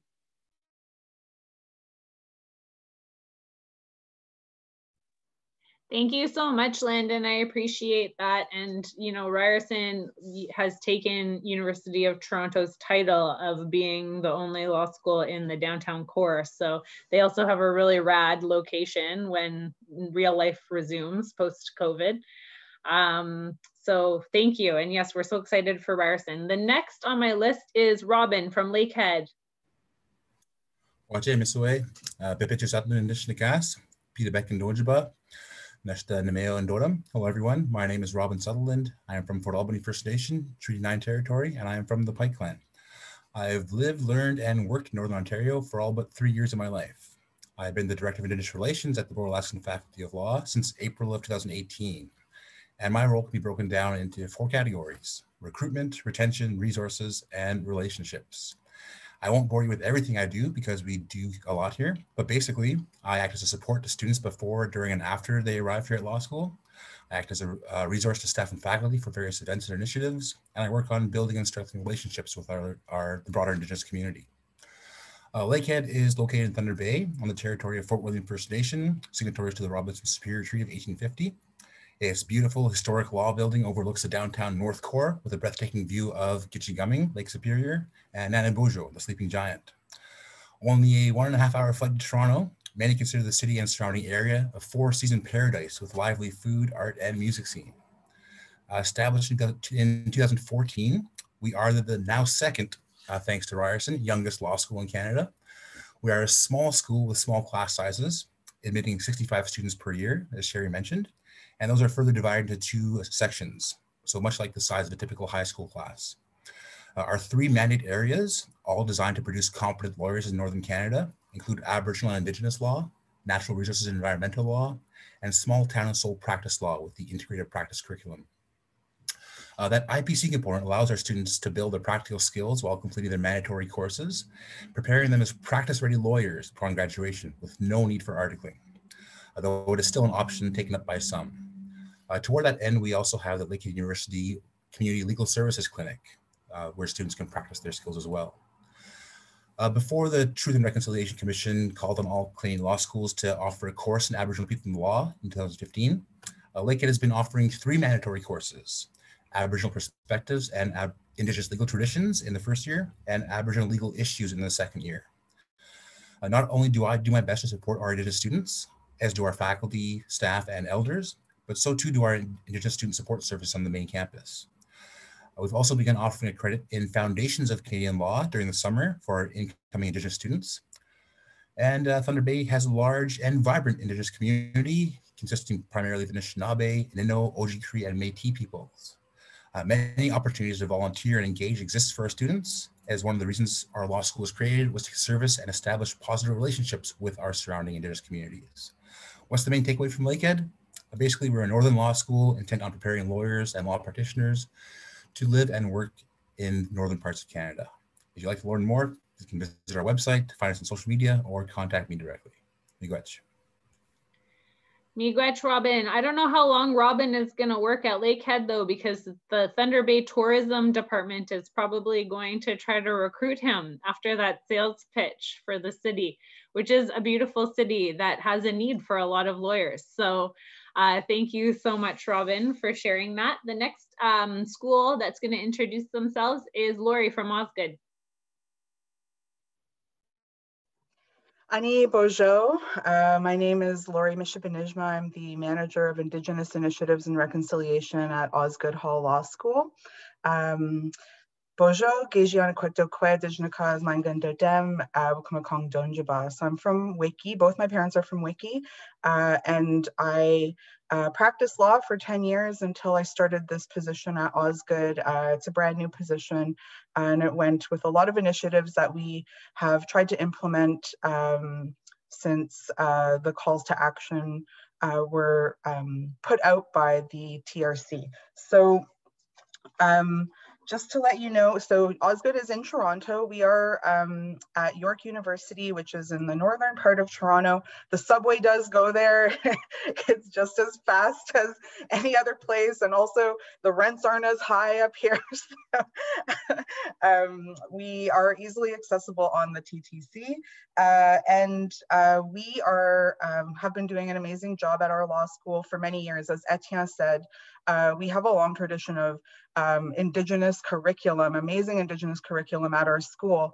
Uh, and we continue that to this day. We implemented a mandatory Indigenous and law requirement at our school in 2018. Uh, so we um, are different than any other school in that regard because we don't make you do a particular class. We have a basket of courses. So we have five different courses that range from seminars to lectures and uh, you know, three hour classes, papers, exams. There's just a diversity of courses that also range from like uh, Indigenous and settler relations, but also Indigenous law as well. We also have the Anishinaabe law camps, which we hold every fall. Uh, one we hold at Nawash, which is on the Bruce Peninsula, and we hold that law camp with John Borrows, who's a, an amazing Indigenous law expert. You may see, you'll Google him, you'll see. And then we also hold an Anishinaabe law camp at Rama First Nations with one of our professors, Jeffrey Hewitt, uh, who is Cree, but has worked with Rama First Nation for many years. Uh, so we have those two areas. We also have um, a, a, clinical program called the Indigenous Intensive, which has been running for uh, 25 years since the Oka crisis. That's when students at Osgoode got together, grassroots um, initiative to make sure that we have uh, clinical education for Indigenous uh, students or people who want to work with Indigenous communities. We also have an amazing clinical uh, law pro cl clinical programs at Osgoode uh, that uh, have enough, we have enough space for most students to complete a clinical, which is comparable to Osgoode and Ryerson's um, practice programs. So uh, I think my two minutes are up, but we have lots lots of other things at Osgoode. One of the main things I just want to say is OISA, the Osgoode Indigenous Students Association is an amazing family. And that is one thing that you would have definitely access to by coming to Osgoode. Uh, they're, um, they, they're an amazing support for each other and um, are great mentors for you if you decide to join Osgoode. Miigwech. Miigwech, Lori, thank you. And just for the students who I see some people are furiously taking notes. So this is not meant to be the only introduction you ever get to any of these law schools. This is so you can put a face to a name and you can see who you should be contacting with follow-up questions because all of us on this call, our whole job, well, not our whole job, but, but a part of our job is to answer the questions of prospective Indigenous students and to try to woo you to our schools. So um, now you're seeing us and you can follow up with us. Uh, so with that, I'm gonna pass it over to Western. Hi, everybody. Oh, am I on? Okay, great. Hi, everybody. My name is Danielle Lacoste. I am the Assistant Dean of Admissions and Recruitment at Western Law, and I work with my associate Stacy Chambers, who's also on the call today. And you may recall getting an email from Stacy confirming your registration for this event today. So we're happy to hear from you at any time, and perhaps at this moment, I'll ask Stacy to just put our, our email and our uh, website into the chat so that you'll have that available to you. So um, yeah, that's a great point that Amanda raises about this is not your only opportunity to hear about uh, what the law schools have to offer. Just so you know, we offer every year a law school application workshop in the fall. We also offer special information sessions, pre-law association uh, sessions. So, so you can look for all of that on our website in the fall. But I do want you to know just a few highlights today that we have an Indigenous applicant category at Western Law School. And uh, we strongly encourage applications from Indigenous students. We want to grow our student, uh, Indigenous student population. And you can see all the eligibility criteria for that uh, category uh, online. And we give you an additional space in your personal statement to talk about your Indigenous heritage. Uh, we want to learn as much as we can about you. And we take a very holistic approach uh, to your application. So definitely keep us in mind when it comes time to to uh, file your law school application. So at Western Law in first year, you're exposed to a lot of Indigenous legal issues just through the regular courses that you would take in, in constitutional law, property law, criminal, criminal law, that type of thing. Uh, but in second year, we do have an intensive course that you take. You take only one course in January, and it is in, in actually two courses, and one of them is Indigenous law. And other courses that we offer in the area include Aboriginal law, Indigenous legal traditions, um, but uh, I think it's really helpful to know, as Jamie mentioned on the panel, is that you may be interested in areas of law other than Indigenous law. And so we offer a wide range of courses for you. Uh, for example, we have eight different curricular streams. You don't have to choose a stream, but we offer guidance about the different courses that we would recommend for any particular area of interest. And each of those streams outlines a number of experiential options that are available to you. So that's where you get to do a little bit more hands-on work. Uh, we have a number of professors who teach in the Indigenous law area. Uh, for example, our Indigenous scholar, Professor Frankie Young, uh, she offers uh, students a Western Law Read and Study course, which focuses on critical legal issues that apply to Indigenous peoples in Canada. And like Jamie, who was on our panel today, she also practiced law, uh, trust law, as it related to Indigenous legal trusts before she came to Western. You got a chance to meet our adjunct professor, Jeff Warnock. So I encourage you to visit our website and, and review the bios of all our profs to get a sense of their levels of expertise. Um, Etienne mentioned the importance of mental health supports and uh, wellness supports when you're at law school. I'm pleased to tell you that we have a full-time in-house wellness counselor at Western who offers students one-on-one support. It's uh, this person is, is just for our law students and we also offer a number of uh, wellness activities. We place a high premium on student wellness, uh, and we have a lot of events in a wellness committee and uh, things like that. So our students are very active and engaged in that respect. Um, my last couple things I want to mention, the most important is our free LSAT prep course for Indigenous, uh, Black, and low income students. Unfortunately, we had to put it on the back burner this past year due to COVID. We do like to offer that in person if you are in our region but we are contemplating remote or hybrid delivery uh, this summer. And you can read more about that on our webpage. So we are, offering that course from uh, May to July. So feel free to reach out for more information about that or see our website. We too have an Indigenous Law Camp we offer it about every other year. Uh, in the past, it's been with the Chippewas of the Thames First Nations and the Walpole Island First Nation. And finally, our other opportunities include some of our, as I mentioned, experiential options. So we have uh, we participate in the Extractive and Indigenous Affairs Moot. Uh, we have, uh, we offer the uh, Talking Circle.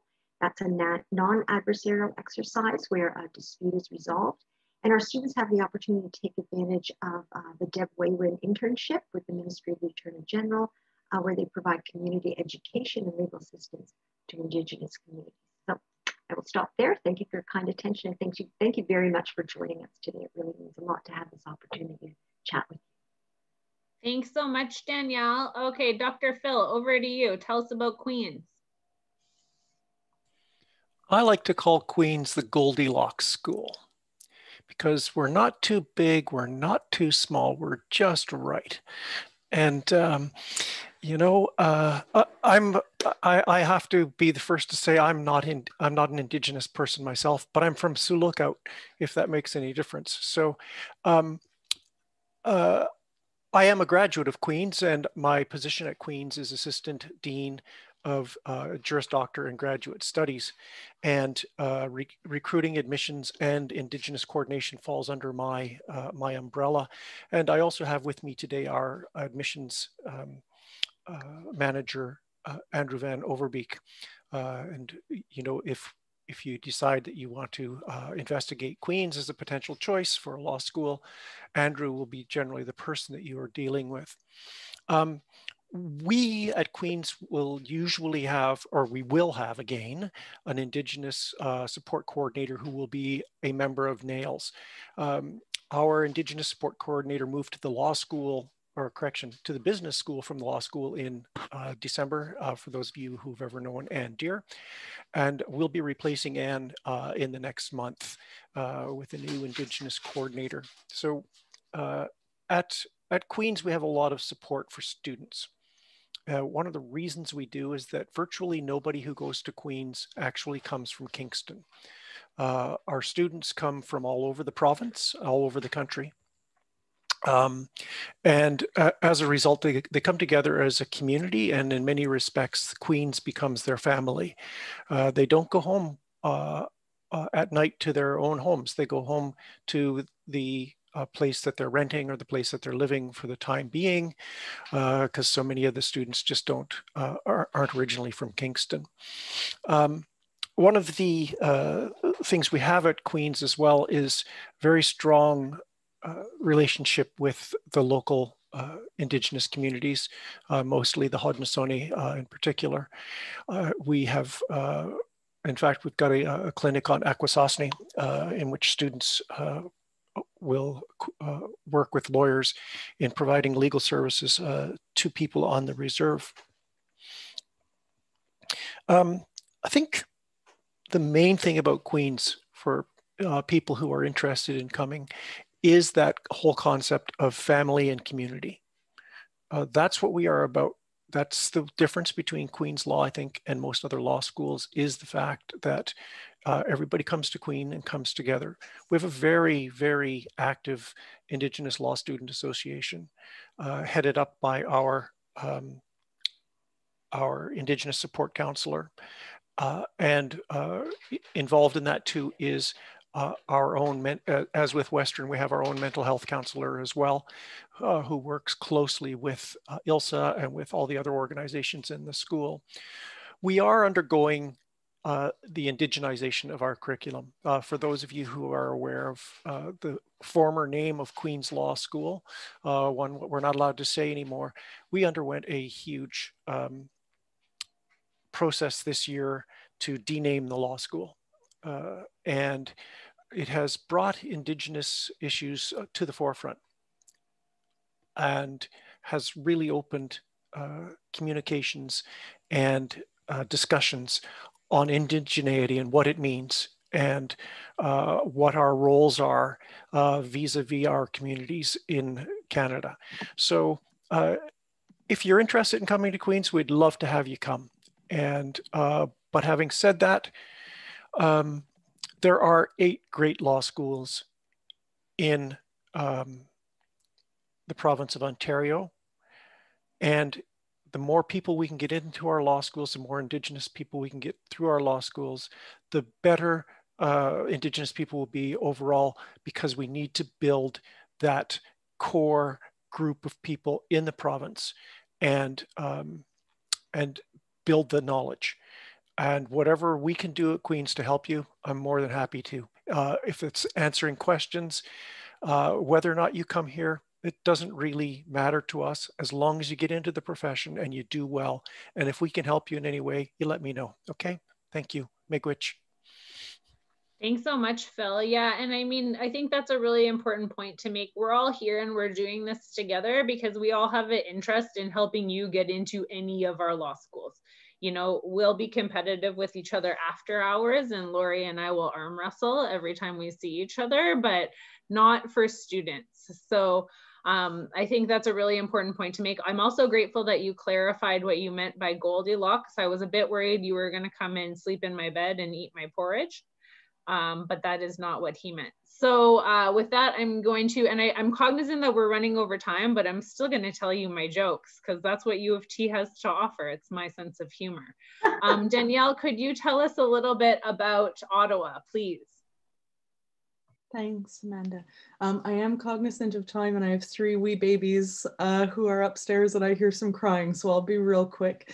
Um, my name is Danielle Lussier. I'm Red River Métis from Treaty 1 territory and the homeland of the Métis Nation, um, but I have benefited daily um, from occupying space on unsurrendered Algonquin territory in Ottawa, Ontario um, for about 20 years. Um, I'm in a long-term relationship with the Faculty of Law at the University of Ottawa, where I serve as um, Director of Community Engagement um, and uh, Indigenous Education. Um, our team, you know, like the other faculties, we, we have a team of folks who are here to improve access to the profession for Indigenous peoples. We have a full-time Indigenous learner advocate who serves as something of an auntie in residence. Um, she can help you with everything from housing and getting access to, to medical care in our city, um, all the way through to, you know, hosting our community beating circle and um, in, in before times and hopefully after times, you know, the, the lunches and, and the, the professional development and career services and support specifically for our learners. Um, we do have academic skills development um, support that is exclusively for our community members. We have a part-time legal writing mentor. Uh, we have an academic mentor. Um, we have quite a developed alumni mentorship program um, through our brothers and sisters in law peer mentorship. You know, uh, if if Philip is is the if Queens is um, is the Goldilocks, you know, we are Canada's largest law school. Um, so our 1L class does have a little over 300 students every year. Um, and with size comes opportunity, right? We have a, a panoply of course offerings. We have options in all kinds of different areas if you want to target environmental law or if you want to pursue the option in indigenous laws and legal orders and so on. Um, I do hear the babies crying, so I am gonna have to I am gonna have to sign off, but I would be so pleased uh, to hear from any of you. Um, si je suis francophone, j'ai vu qu'il y avait des francophones. If anybody prefers to speak in French, um, I'll muddle my way through midship, although uh, I'm not strong, um, but we would be so, so pleased to hear from you and help you on your path uh, to the profession um, if we can do anything to support, please let us know. Merci. Merci. Thank you, cousin. Um, I really appreciate it. And yeah, all of us are going to answer your questions later. So very quickly, you've already heard who I am. Um, U of T uh, has as a point of pride that we are an academic institution first. So unlike some of the law schools where the pro, the um, the law practice program is integrated and there's a very uh, strong practice focus. U of T very much prides itself on teaching the theory of law and um, providing a very strong academic experience. So um, one thing that really surprised me as a student was buying my textbooks and very quickly realizing that the person who wrote the textbook was also my instructor.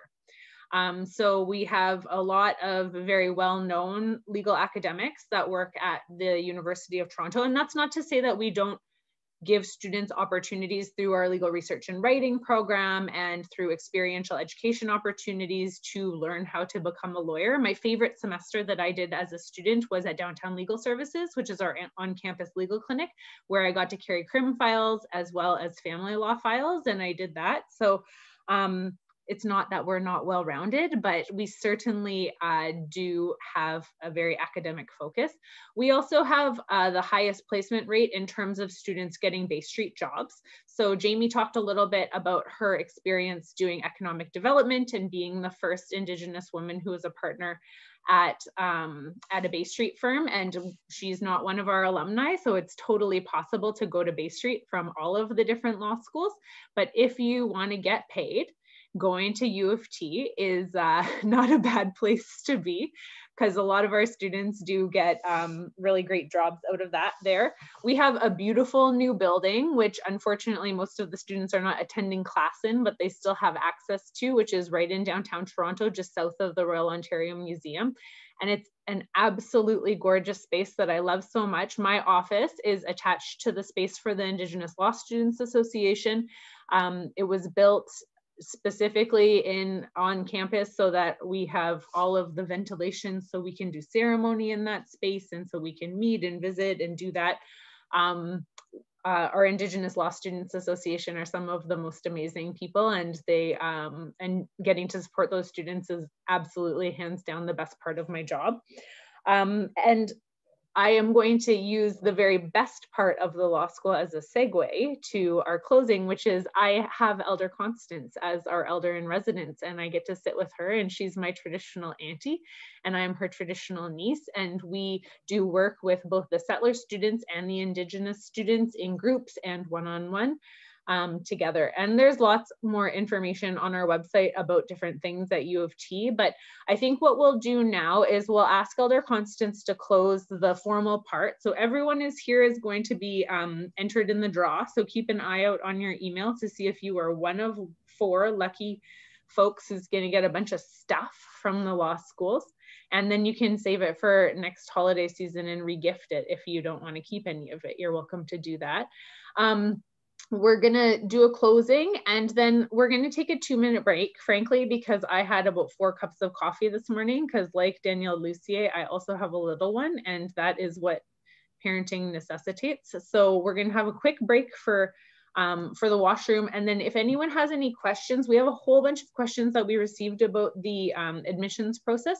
You're welcome to stay on to uh, ask those questions and um, but you're also welcome just to ask them after the fact if you have to go. So um, with that i'm going to hand it over to elder constance. I'm going to say thank you to everyone for your time and attention today.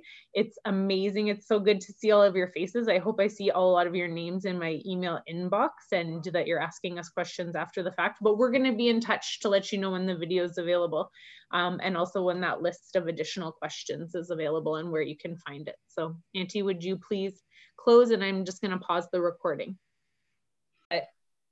Are interested in the answers. So well, I'll be here for about five more minutes. After that, I'm on academic advising. So Okay, great. Thank you. Um, so let's move on to the prepared question. So there's a number of people who are still on the call. So I think um, the first question, and I'm just going to throw it out there and then let Danielle, Michelle, Lori, Landon, um, the gentleman from Queenslaw whose name escapes me. I'm so sorry, but your Andrew. beard is amazing, Andrew. Um, might answer some of these as well. So um, the first question is, when can you apply for law school? And any of you can answer it. Scramble. You can apply to law school um, after two years of undergrad or completing your undergrad. I recommend completing an undergrad. Uh, it's very rare that students get in after two years of um, an undergrad program, um, but also you'll just be more prepared. Um, like, especially um, like Indigenous students, as someone who is Indigenous, like I, I had a hard time in school and uh, had to learn basically colonial ways of education. I had to adapt what my family taught me. And it's really hard to do that in an undergrad program in two years. Like so sometimes a lot of students they might be adapting for the first year or two. So their grades might not be as high and your grades might increase over the years. So your gpa will get stronger and stronger the longer you're there.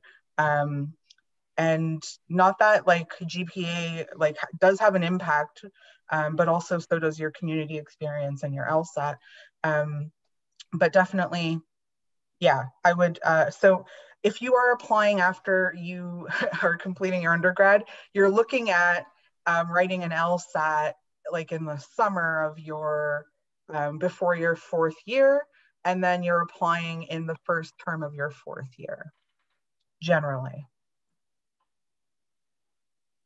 That's awesome, Lori. I agree with you. Anyone have anything to add or should we keep moving?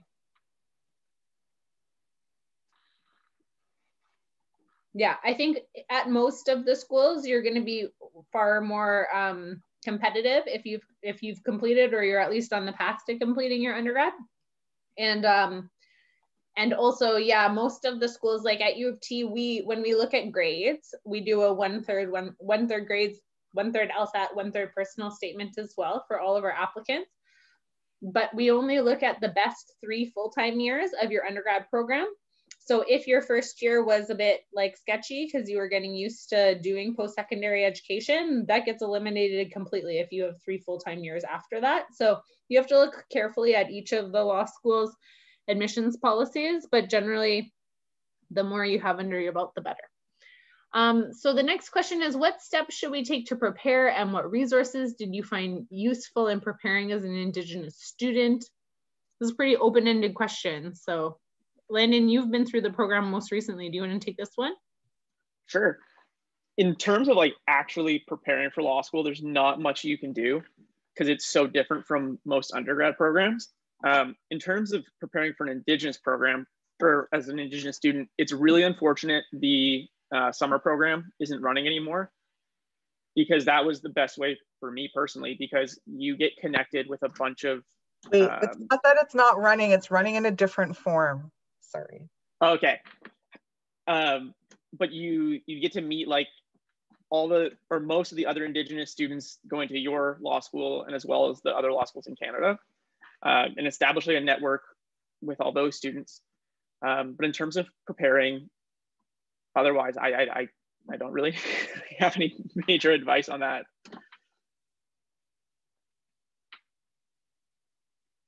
No, I think that's good. And we talked a little bit about LSAT prep already and taking the courses. And Danielle mentioned the LSAT prep course that they have at Western. U of T offers something similar. So, you know, making sure you're prepared before you go into that test, I think is really important. And then the advice that um, one of the panelists gave. I can't remember who said it, but just making sure that whatever you take in undergrad, you are super interested in it so that you knock it out of the park. Um, you know, taking a specific a specific program so that you know, like if you think that political science is going to make you more likely to get into to law school, that is the case if you are interested in political science and you're going to do super well in your classes but if you have no interest in political science, but you would do super good in a music program because that is an area of interest that you have, then take music. Because we have lots of folks who do music. We have folks with dance backgrounds at law school. We have folks with engineering degrees at law school. Um, so it just really is whatever you're the most interested in. Um, what are eligibility requirements? Are there a prerequisite course? Lori, do you want to answer that one? there's no prerequisite course. Like Amanda just said, your undergrad can be anything, can be music, can be biology, mine is in social work, can be anything that you love, that you're passionate about, and that you will do well at.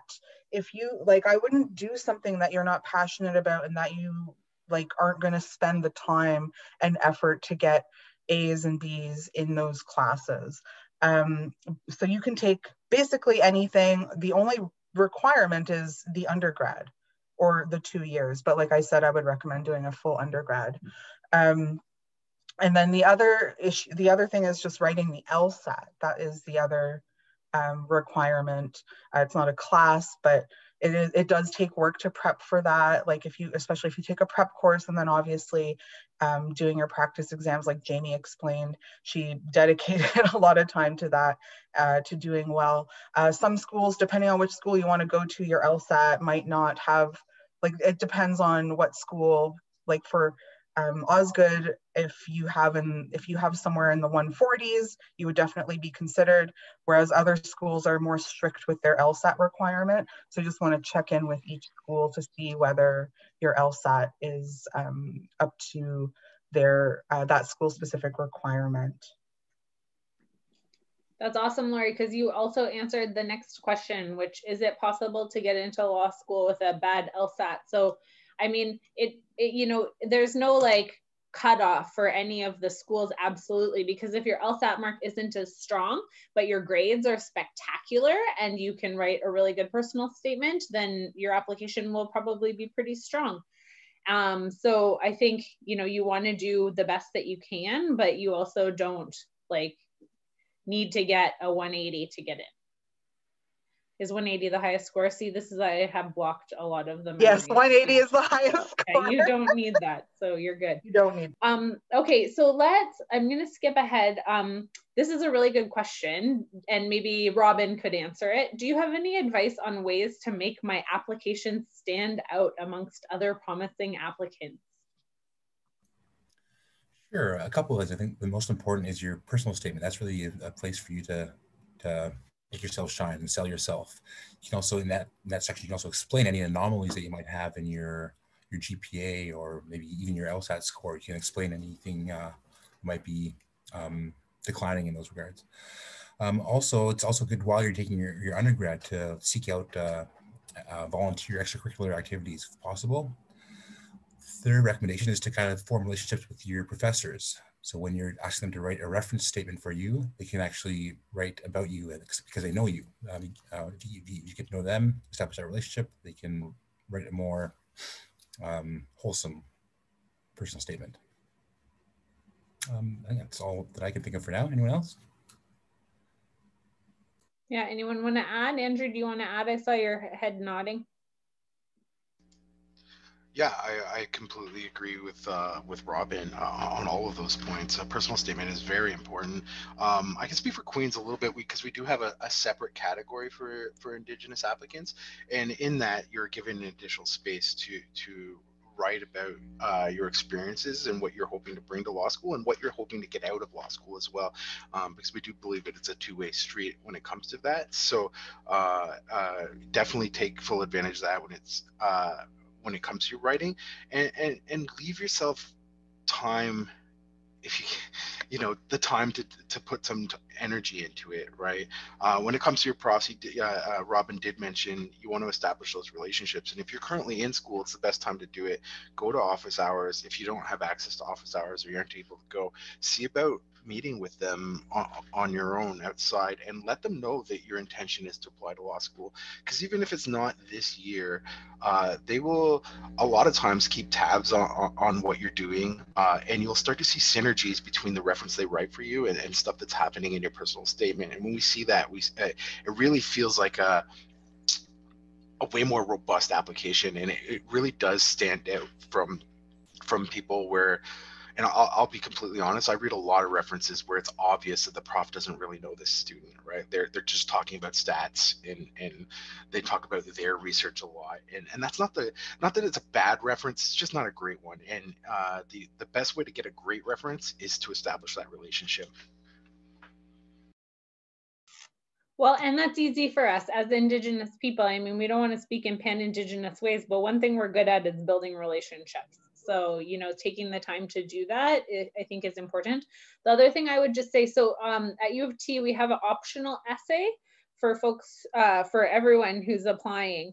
And when you don't use every possible space to tell the admissions committee who you are and why you want to go to law school, then it's lazy. So whenever I get whenever I get an application and people haven't done the optional essay, I mark it down because you know i think in the same way that you want your reference letters to be as strong as possible you want to say as much as you can to the committee and you don't want to repeat yourself. So you also don't want to write the same thing that you've written in your personal statement in your optional essay. Um, tell us two different stories. You've had a whole life you're probably at least 25 years old by the time you're going to law school. That's you know a quarter of a century and we want to tell us some interesting things about you and why you would be make a good contribution to the profession. Um, okay, moving on. This is a good question. Uh, are there standard classes that you have to take at law school? Can you choose some classes? Classes. Um, can you lower your course load? So I'll give this question to whoever wants to answer it, but maybe they could also answer it in combination with a little bit of what Jamie talked about during the panel, which is the distinction between barrister and solicitor work. And Lori, do you want to take this one? yeah, so um, every school is different, but generally the first year curriculum is very, um, um, it's like most of those classes are mandatory and maybe one maybe two, maybe zero of your courses are ones that you can choose. Osgoode in particular, you can have you can choose one course in the second term of your first year, but it's generally all mandatory. And we are regulated by the law, the Federation of Law Societies in Canada. So there are some things that every law school has to um, teach their students in order for them to graduate and um, be able to article with their respective law societies. So generally you're doing um, contract law, property law, uh, constitutional or public law, um, as uh, torts laws usually also um, mandatory, as well as um, I think I think that's oh criminal law. Property? Criminal property, yes, criminal. I did say property. Criminal law is usually um, mandatory as well, um, and uh, and then you do uh, your oh, and then usually like civil procedure or legal process or legal research and writing. Like every school calls it something different, but it's usually something along those lines. Um, are usually mandatory in your first year. And then most schools, I think maybe Lakehead is an exception, it um, had like their um, second and third year of your law school experience will be completely your choice, except that you want to have a well-rounded legal education. So talking to your academic counselors at your particular schools would be important. Like definitely you want to take courses that meet what career path you're on. Some people don't know what their career path is yet. So definitely there's lots of choice.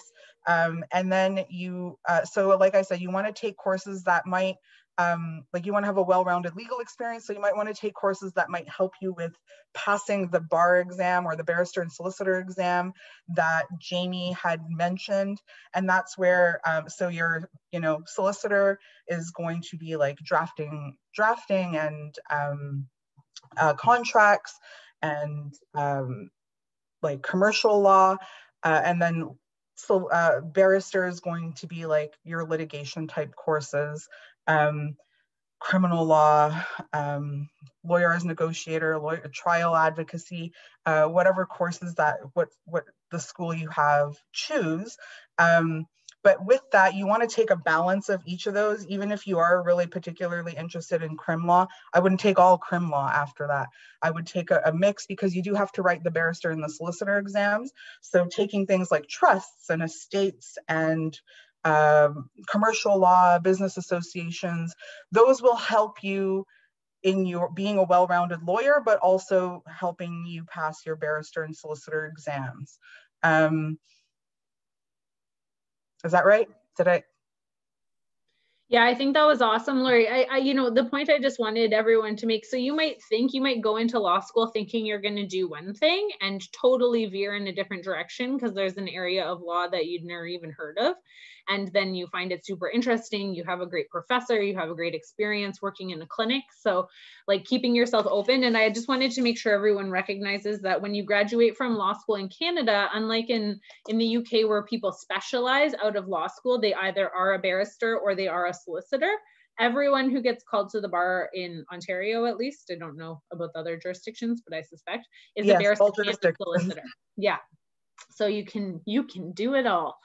Um, so I think the next question Amanda, to I'm, add to that yeah, one, go I ahead, Stacey. The second question was if you could do like lower your course load. So at oh, Western, yeah. we do have that option for the extended time JD. So it's kind of like a part-time um, course load. So instead of taking just three years to finish your degree, you can spread it out to up to six. So when you apply, you would indicate, okay, I'm interested in maybe doing the extended time. And, and when we admit you, you're not held to that. You can still do the full time if you want. Um, but then you can indicate, okay, the first year I might just take three courses or whatever, and then you can spread it out and you can always switch to full time later on.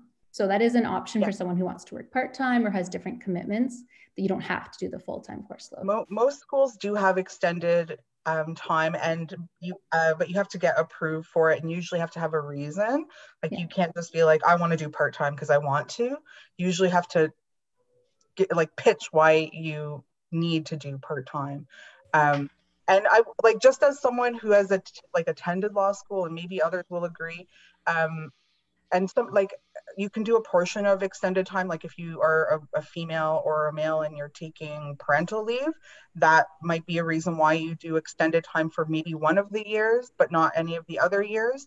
That's a possibility as well.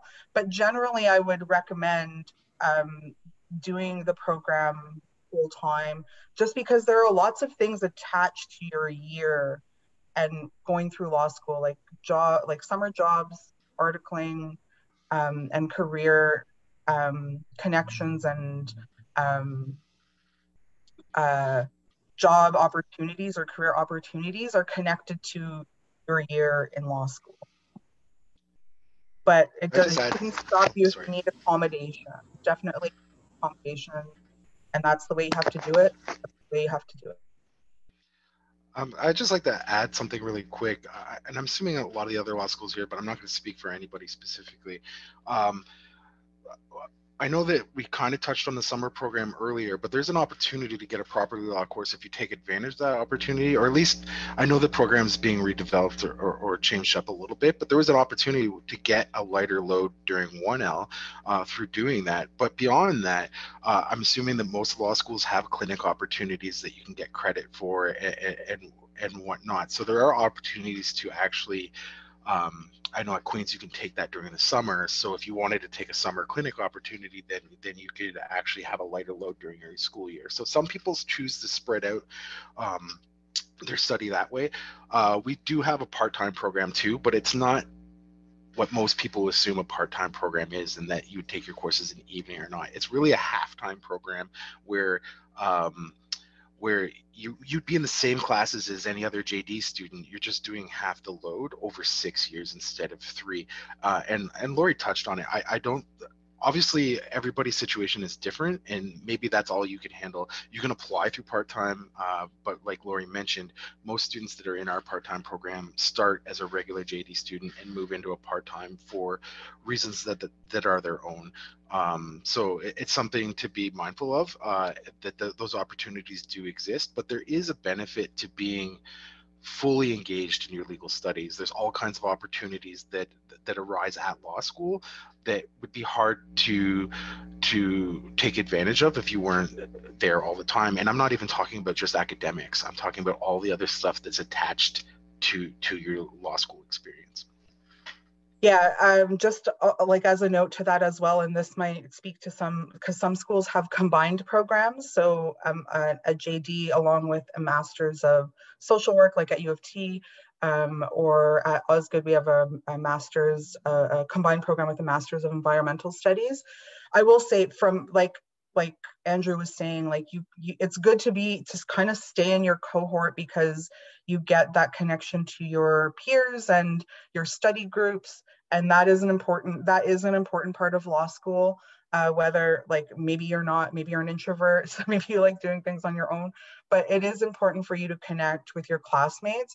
And I do know that the experience of um, those students in those combined programs they start in one year and then they come back in a different cohort and there is a bit of disconnect for them that we have to bridge to close like we have to help them bridge that gap.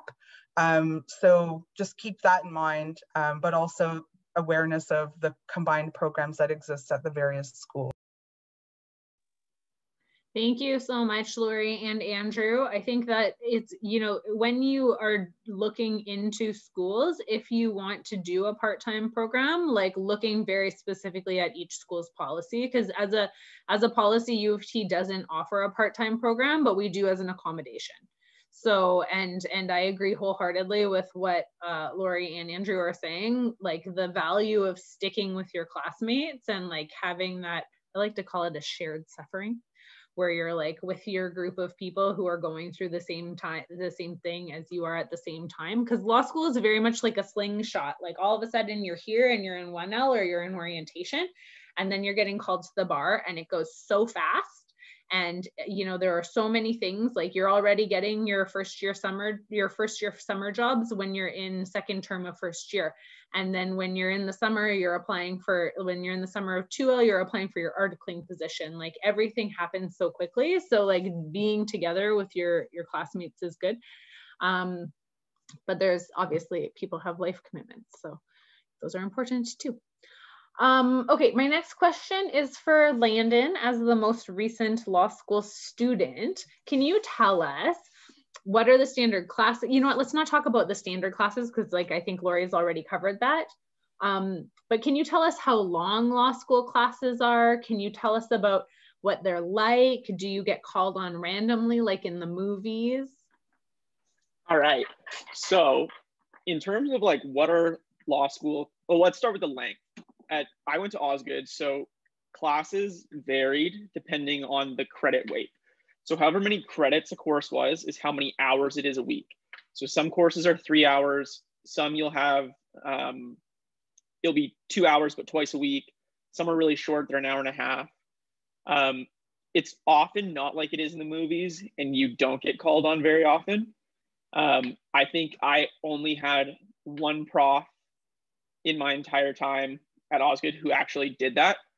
And when he did, it like wasn't scary. If you didn't know, you just said you don't know, and you would be like, okay, next person.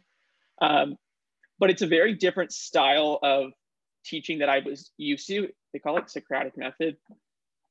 Some profs they just stand like at the front of the class and they just talk for three hours, and it's your job to take all the notes and like I would say less than half of my props actually used um, PowerPoints or like visual aids or handouts or any of that.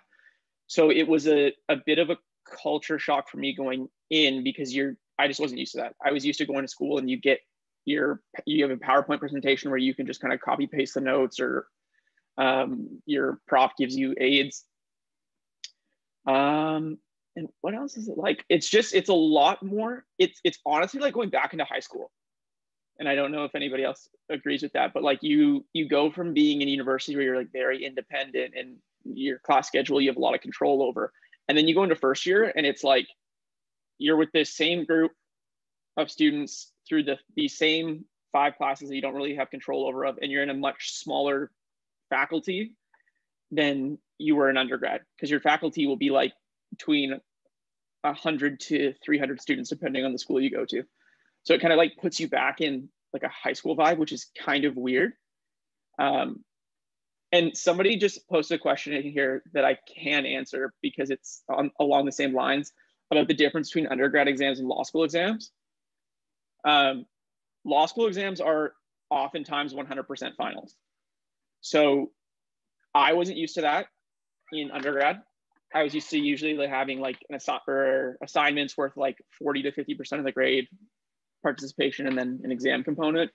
In law school, generally your exams are 100% finals, uh, which changes your preparation method and also makes the exams a bit more stressful because it's like you get one shot. There's you don't really have an opportunity to mess up. Um, and they're usually a mixture of what's called a fact pattern, which is like a, a factual scenario, and then you're asked to apply the law or represent some side, um, and then a policy question which asks you to like think theoretically about the law. Can I interject just so you're not scared off? yes, they are 100% finals. Yes, it's like learning a new language. Law school is learning a new language. Colonial law has been very painful for Indigenous people. Uh, education has been very painful for Indigenous people, and that has put Indigenous people in a certain at a certain position when trying to access those two things, specifically a legal education and, and uh, entrance into the legal profession. Um, so that's why, the, and the, this was mentioned a couple times, but that's why the summer program at the Indigenous Law uh, Center in Saskatoon was um, started because it helped students prepare for that kind of cultures to shock, that new language, that new way of doing exams, that new way of reading cases. It prepared students for that. And it is changing. Like by the time you apply and come, that program will be melded into something a bit different, um, but something similar. But from that, um, also schools have been working really hard. Some schools, I'm not gonna say all schools, but many schools have been working hard to help Indigenous students specifically, not just any students, all law schools have academic success programs, but some law schools are working to um, culturally safe Indigenous academic success programs. So I know Lakehead has one and, I, and at Osgoode we have one, it's called Kandaswa Chinakagewin. Other schools may have them as well. I'm not sure who else is left on the call, um, but we work with the students to help you adapt to that shift in the way exams are and the way exams are written, the way classes are given, the way your readings are done and the amount of readings. We are there to help you to adapt. And every, like many schools have um, indigenous initiatives, managers or student supports or like those, those supports are there to help you transition to those different kinds of testing methods and uh, teaching methods. That's that's awesome, Lori. I, I mean, I think you know, U of T at least has recognized since the time I started law school in 2009 and the last few years that every student needed more of an orientation to how to do law and it's not the same as what u of s was providing and hopefully will eventually provide and that lori's been developing and that Lakehead and Robin have been developing. Um, but there is more of an orientation now, I think, at a lot of the law schools. And I also think, and I say this very carefully because it's always two steps forward and one step back, but the law schools are starting to recognize the value of the Indigenous knowledge and the Indigenous law knowledge that Indigenous folks bring to the institutions.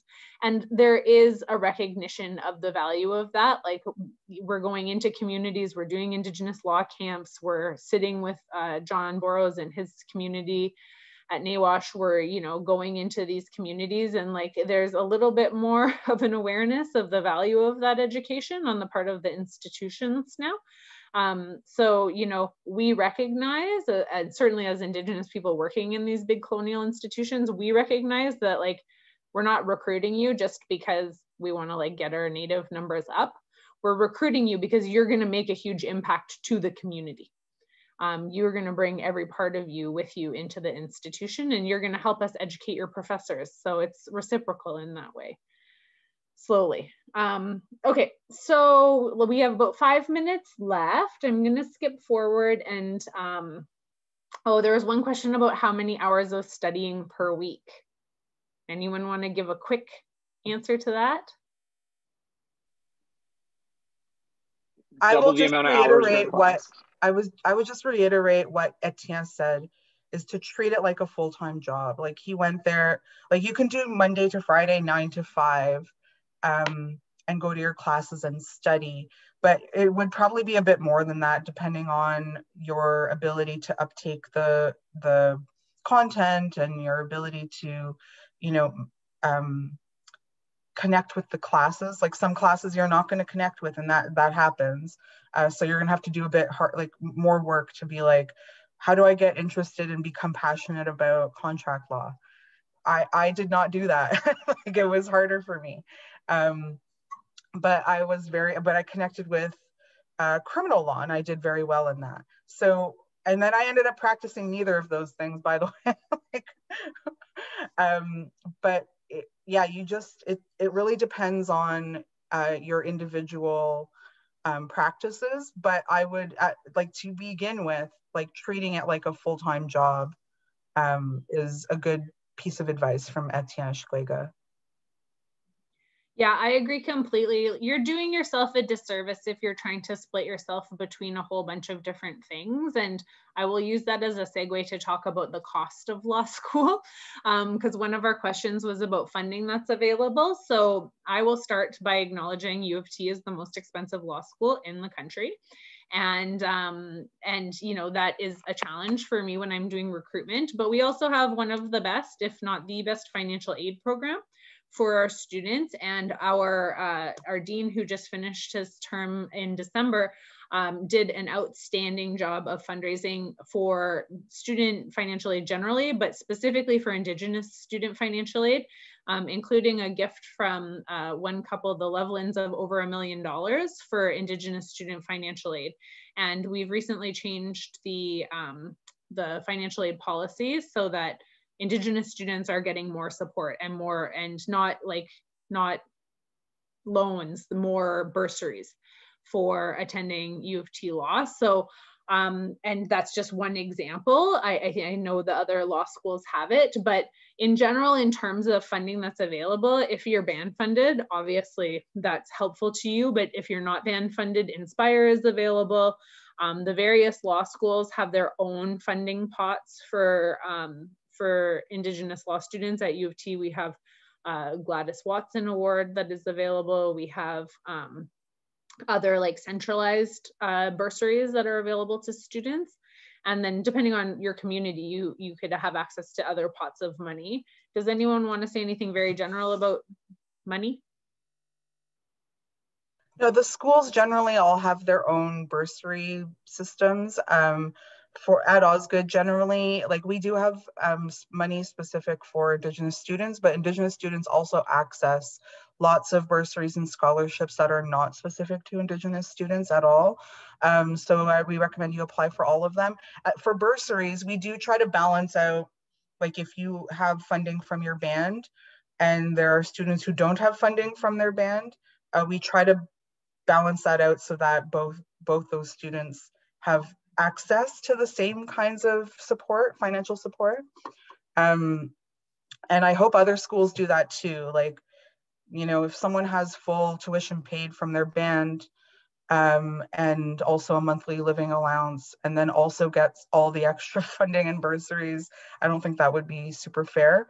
Um, but I, I hope that most schools are trying to balance out all of their Indigenous students and making sure they all get through without debt. And if they're ever in a position with it where they can't pay, figuring it out and and making and helping them and supporting them and making sure that they can pay and that they are not leaving law school because they can't pay yeah and and like the part-time program that's like kind of a more school on like school to school thing that i think you can make specific inquiries. We have a financial aid calculator on our on U of T Law's website, so you can enter all of your numbers and get a pretty good idea of how much support you would get from the school. Um, uh, the next question. Well, maybe I'll I'll leave as our last question a question that's very COVID specific, but I do think that it is will be interesting to see what happens in the future. So someone asked what percent of a law degree from an Ontario university can be completed remotely, which I think up until pre-COVID, the answer would have been 0%. and now uh, things have changed drastically. And um, I don't know, Robin, have you thought about this at all? Or Landon, I see you just unmuted. Sure. Yeah, there was. I was just going to say, Oh, sorry. Go ahead, Robin. There was a question in the chat that I did respond to. I think it was Gary. Um, yeah, as, as Amanda said before COVID, no, no online. During COVID, it's all online. After COVID, I don't know personally. I'm not sure how that's going to change. It'd be nice if the legal landscape changed along with uh, the times and there were more offerings, but I can't say how it's going to look at Lakehead personally, to be honest. Thanks, uh, Robin. Landon, did you want to add something or Andrew? I was just I was just gonna say like I know a couple people at Osgoode who did like full semesters remote. They just listened to like lectures, but it's not recommended. And then they would just show up for their 100% finals. But again, not recommended. And that's allowed because Osgoode records its lectures. U of T as a yeah, yeah doesn't. Andrew, Queens? Yeah, I, I think that every situation is going to be a little bit different. I, I think that the intention, I mean, Queens was we were kind of lucky in that we had uh, the undergraduate certificate in law. Uh, like Queens doesn't have an undergraduate program in justice studies or or criminology or anything like that. So the answer that we that the faculty took is they launched a certificate program that undergrads could take as electives, regardless of what what um, faculty they're a part of. Uh, so all of our faculty that taught in that program are, are used to the the you know teaching online or at least a hybrid approach. Uh, I think that the intention though is that for the law school, the JD studies. Um, at the first opportunity, it makes sense to go back to online cl- or in-person classes. We're we're going to. Um, now, each faculty member has their own ability to teach their classes how they want and i think that some eyes have been opened on how to deliver courses. So i think that we will start to see a lot more hybrid approaches for uh, you, you know the coursework but i don't think we'll ever be in a situation where we'll be able to live remotely and not be on campus during the school year barring a pandemic situation kind of thing. So um, but never say never. Uh, that's where we are right now is that we'll be back in person at the first opportunity. I have something also to correct about what Landon said. We at Osgoode do not have online courses. And actually the Canadian Federation of Law Societies requires that uh, like I, like something like 80% of your classes be in person. So we do not recommend that you only listen to recorded lectures. Like we actually you're required to attend classes at Osgoode unless it's COVID and it's remote and it's like approved by your school. Um, but yeah, we don't we don't do online classes and we um, it's like we are actually like you have to attend class like I said unless it's um, sanctioned by the school that you don't have to uh, and or you talk about an accommodation with your specific school about whether you attend or not. Accommodation being a medical or disability related or family status related accommodation. Yeah, I think that there's very few asynchronous courses, even when they're online. Like they're in, they're taught live. They just happen to be online, so it's not. Um, I, think that most professors, uh, from what I understand, have a problem with recording. They, they, own the content in their courses, and they don't want it recorded and released. So um, that's that's their bag. Thank you so much, everyone. Okay, so I am gonna I'm gonna end it there, but I'm gonna invite everyone to send emails with further questions if they didn't um, if they didn't feel satisfactorily answered. Um, I hate to end Lori's family reunion that's happening in the chat right now because it's actually it's killing me. It's amazing. And um, law school reunion. Grace, I went to law school with Grace Chagosh's mom. amazing. Next gen next gen niche lawyers. That's so good. Um, okay, this has been so fun. It's been so nice to see your faces. I'm so grateful to everyone who stuck it out till the end. Um, you know, this is just the first of many conversations, hopefully, that we have with you about your future and your path to becoming a lawyer in Ontario or another province. Um, in the same way that we're not going to fight for you amongst ourselves. We also, if you want to go to a different law school in a different jurisdiction, then we're happy to answer questions about that and those opportunities. So um, all of our contact information is on the website where you registered and we're going to follow up with emails and um, we will try not to spam you. But thank you so much uh, for being here. Miigwech, Marcy, and Yahweh. Um, good luck and uh, I look forward to seeing your names in my admissions piles too. Bye, everyone. They go.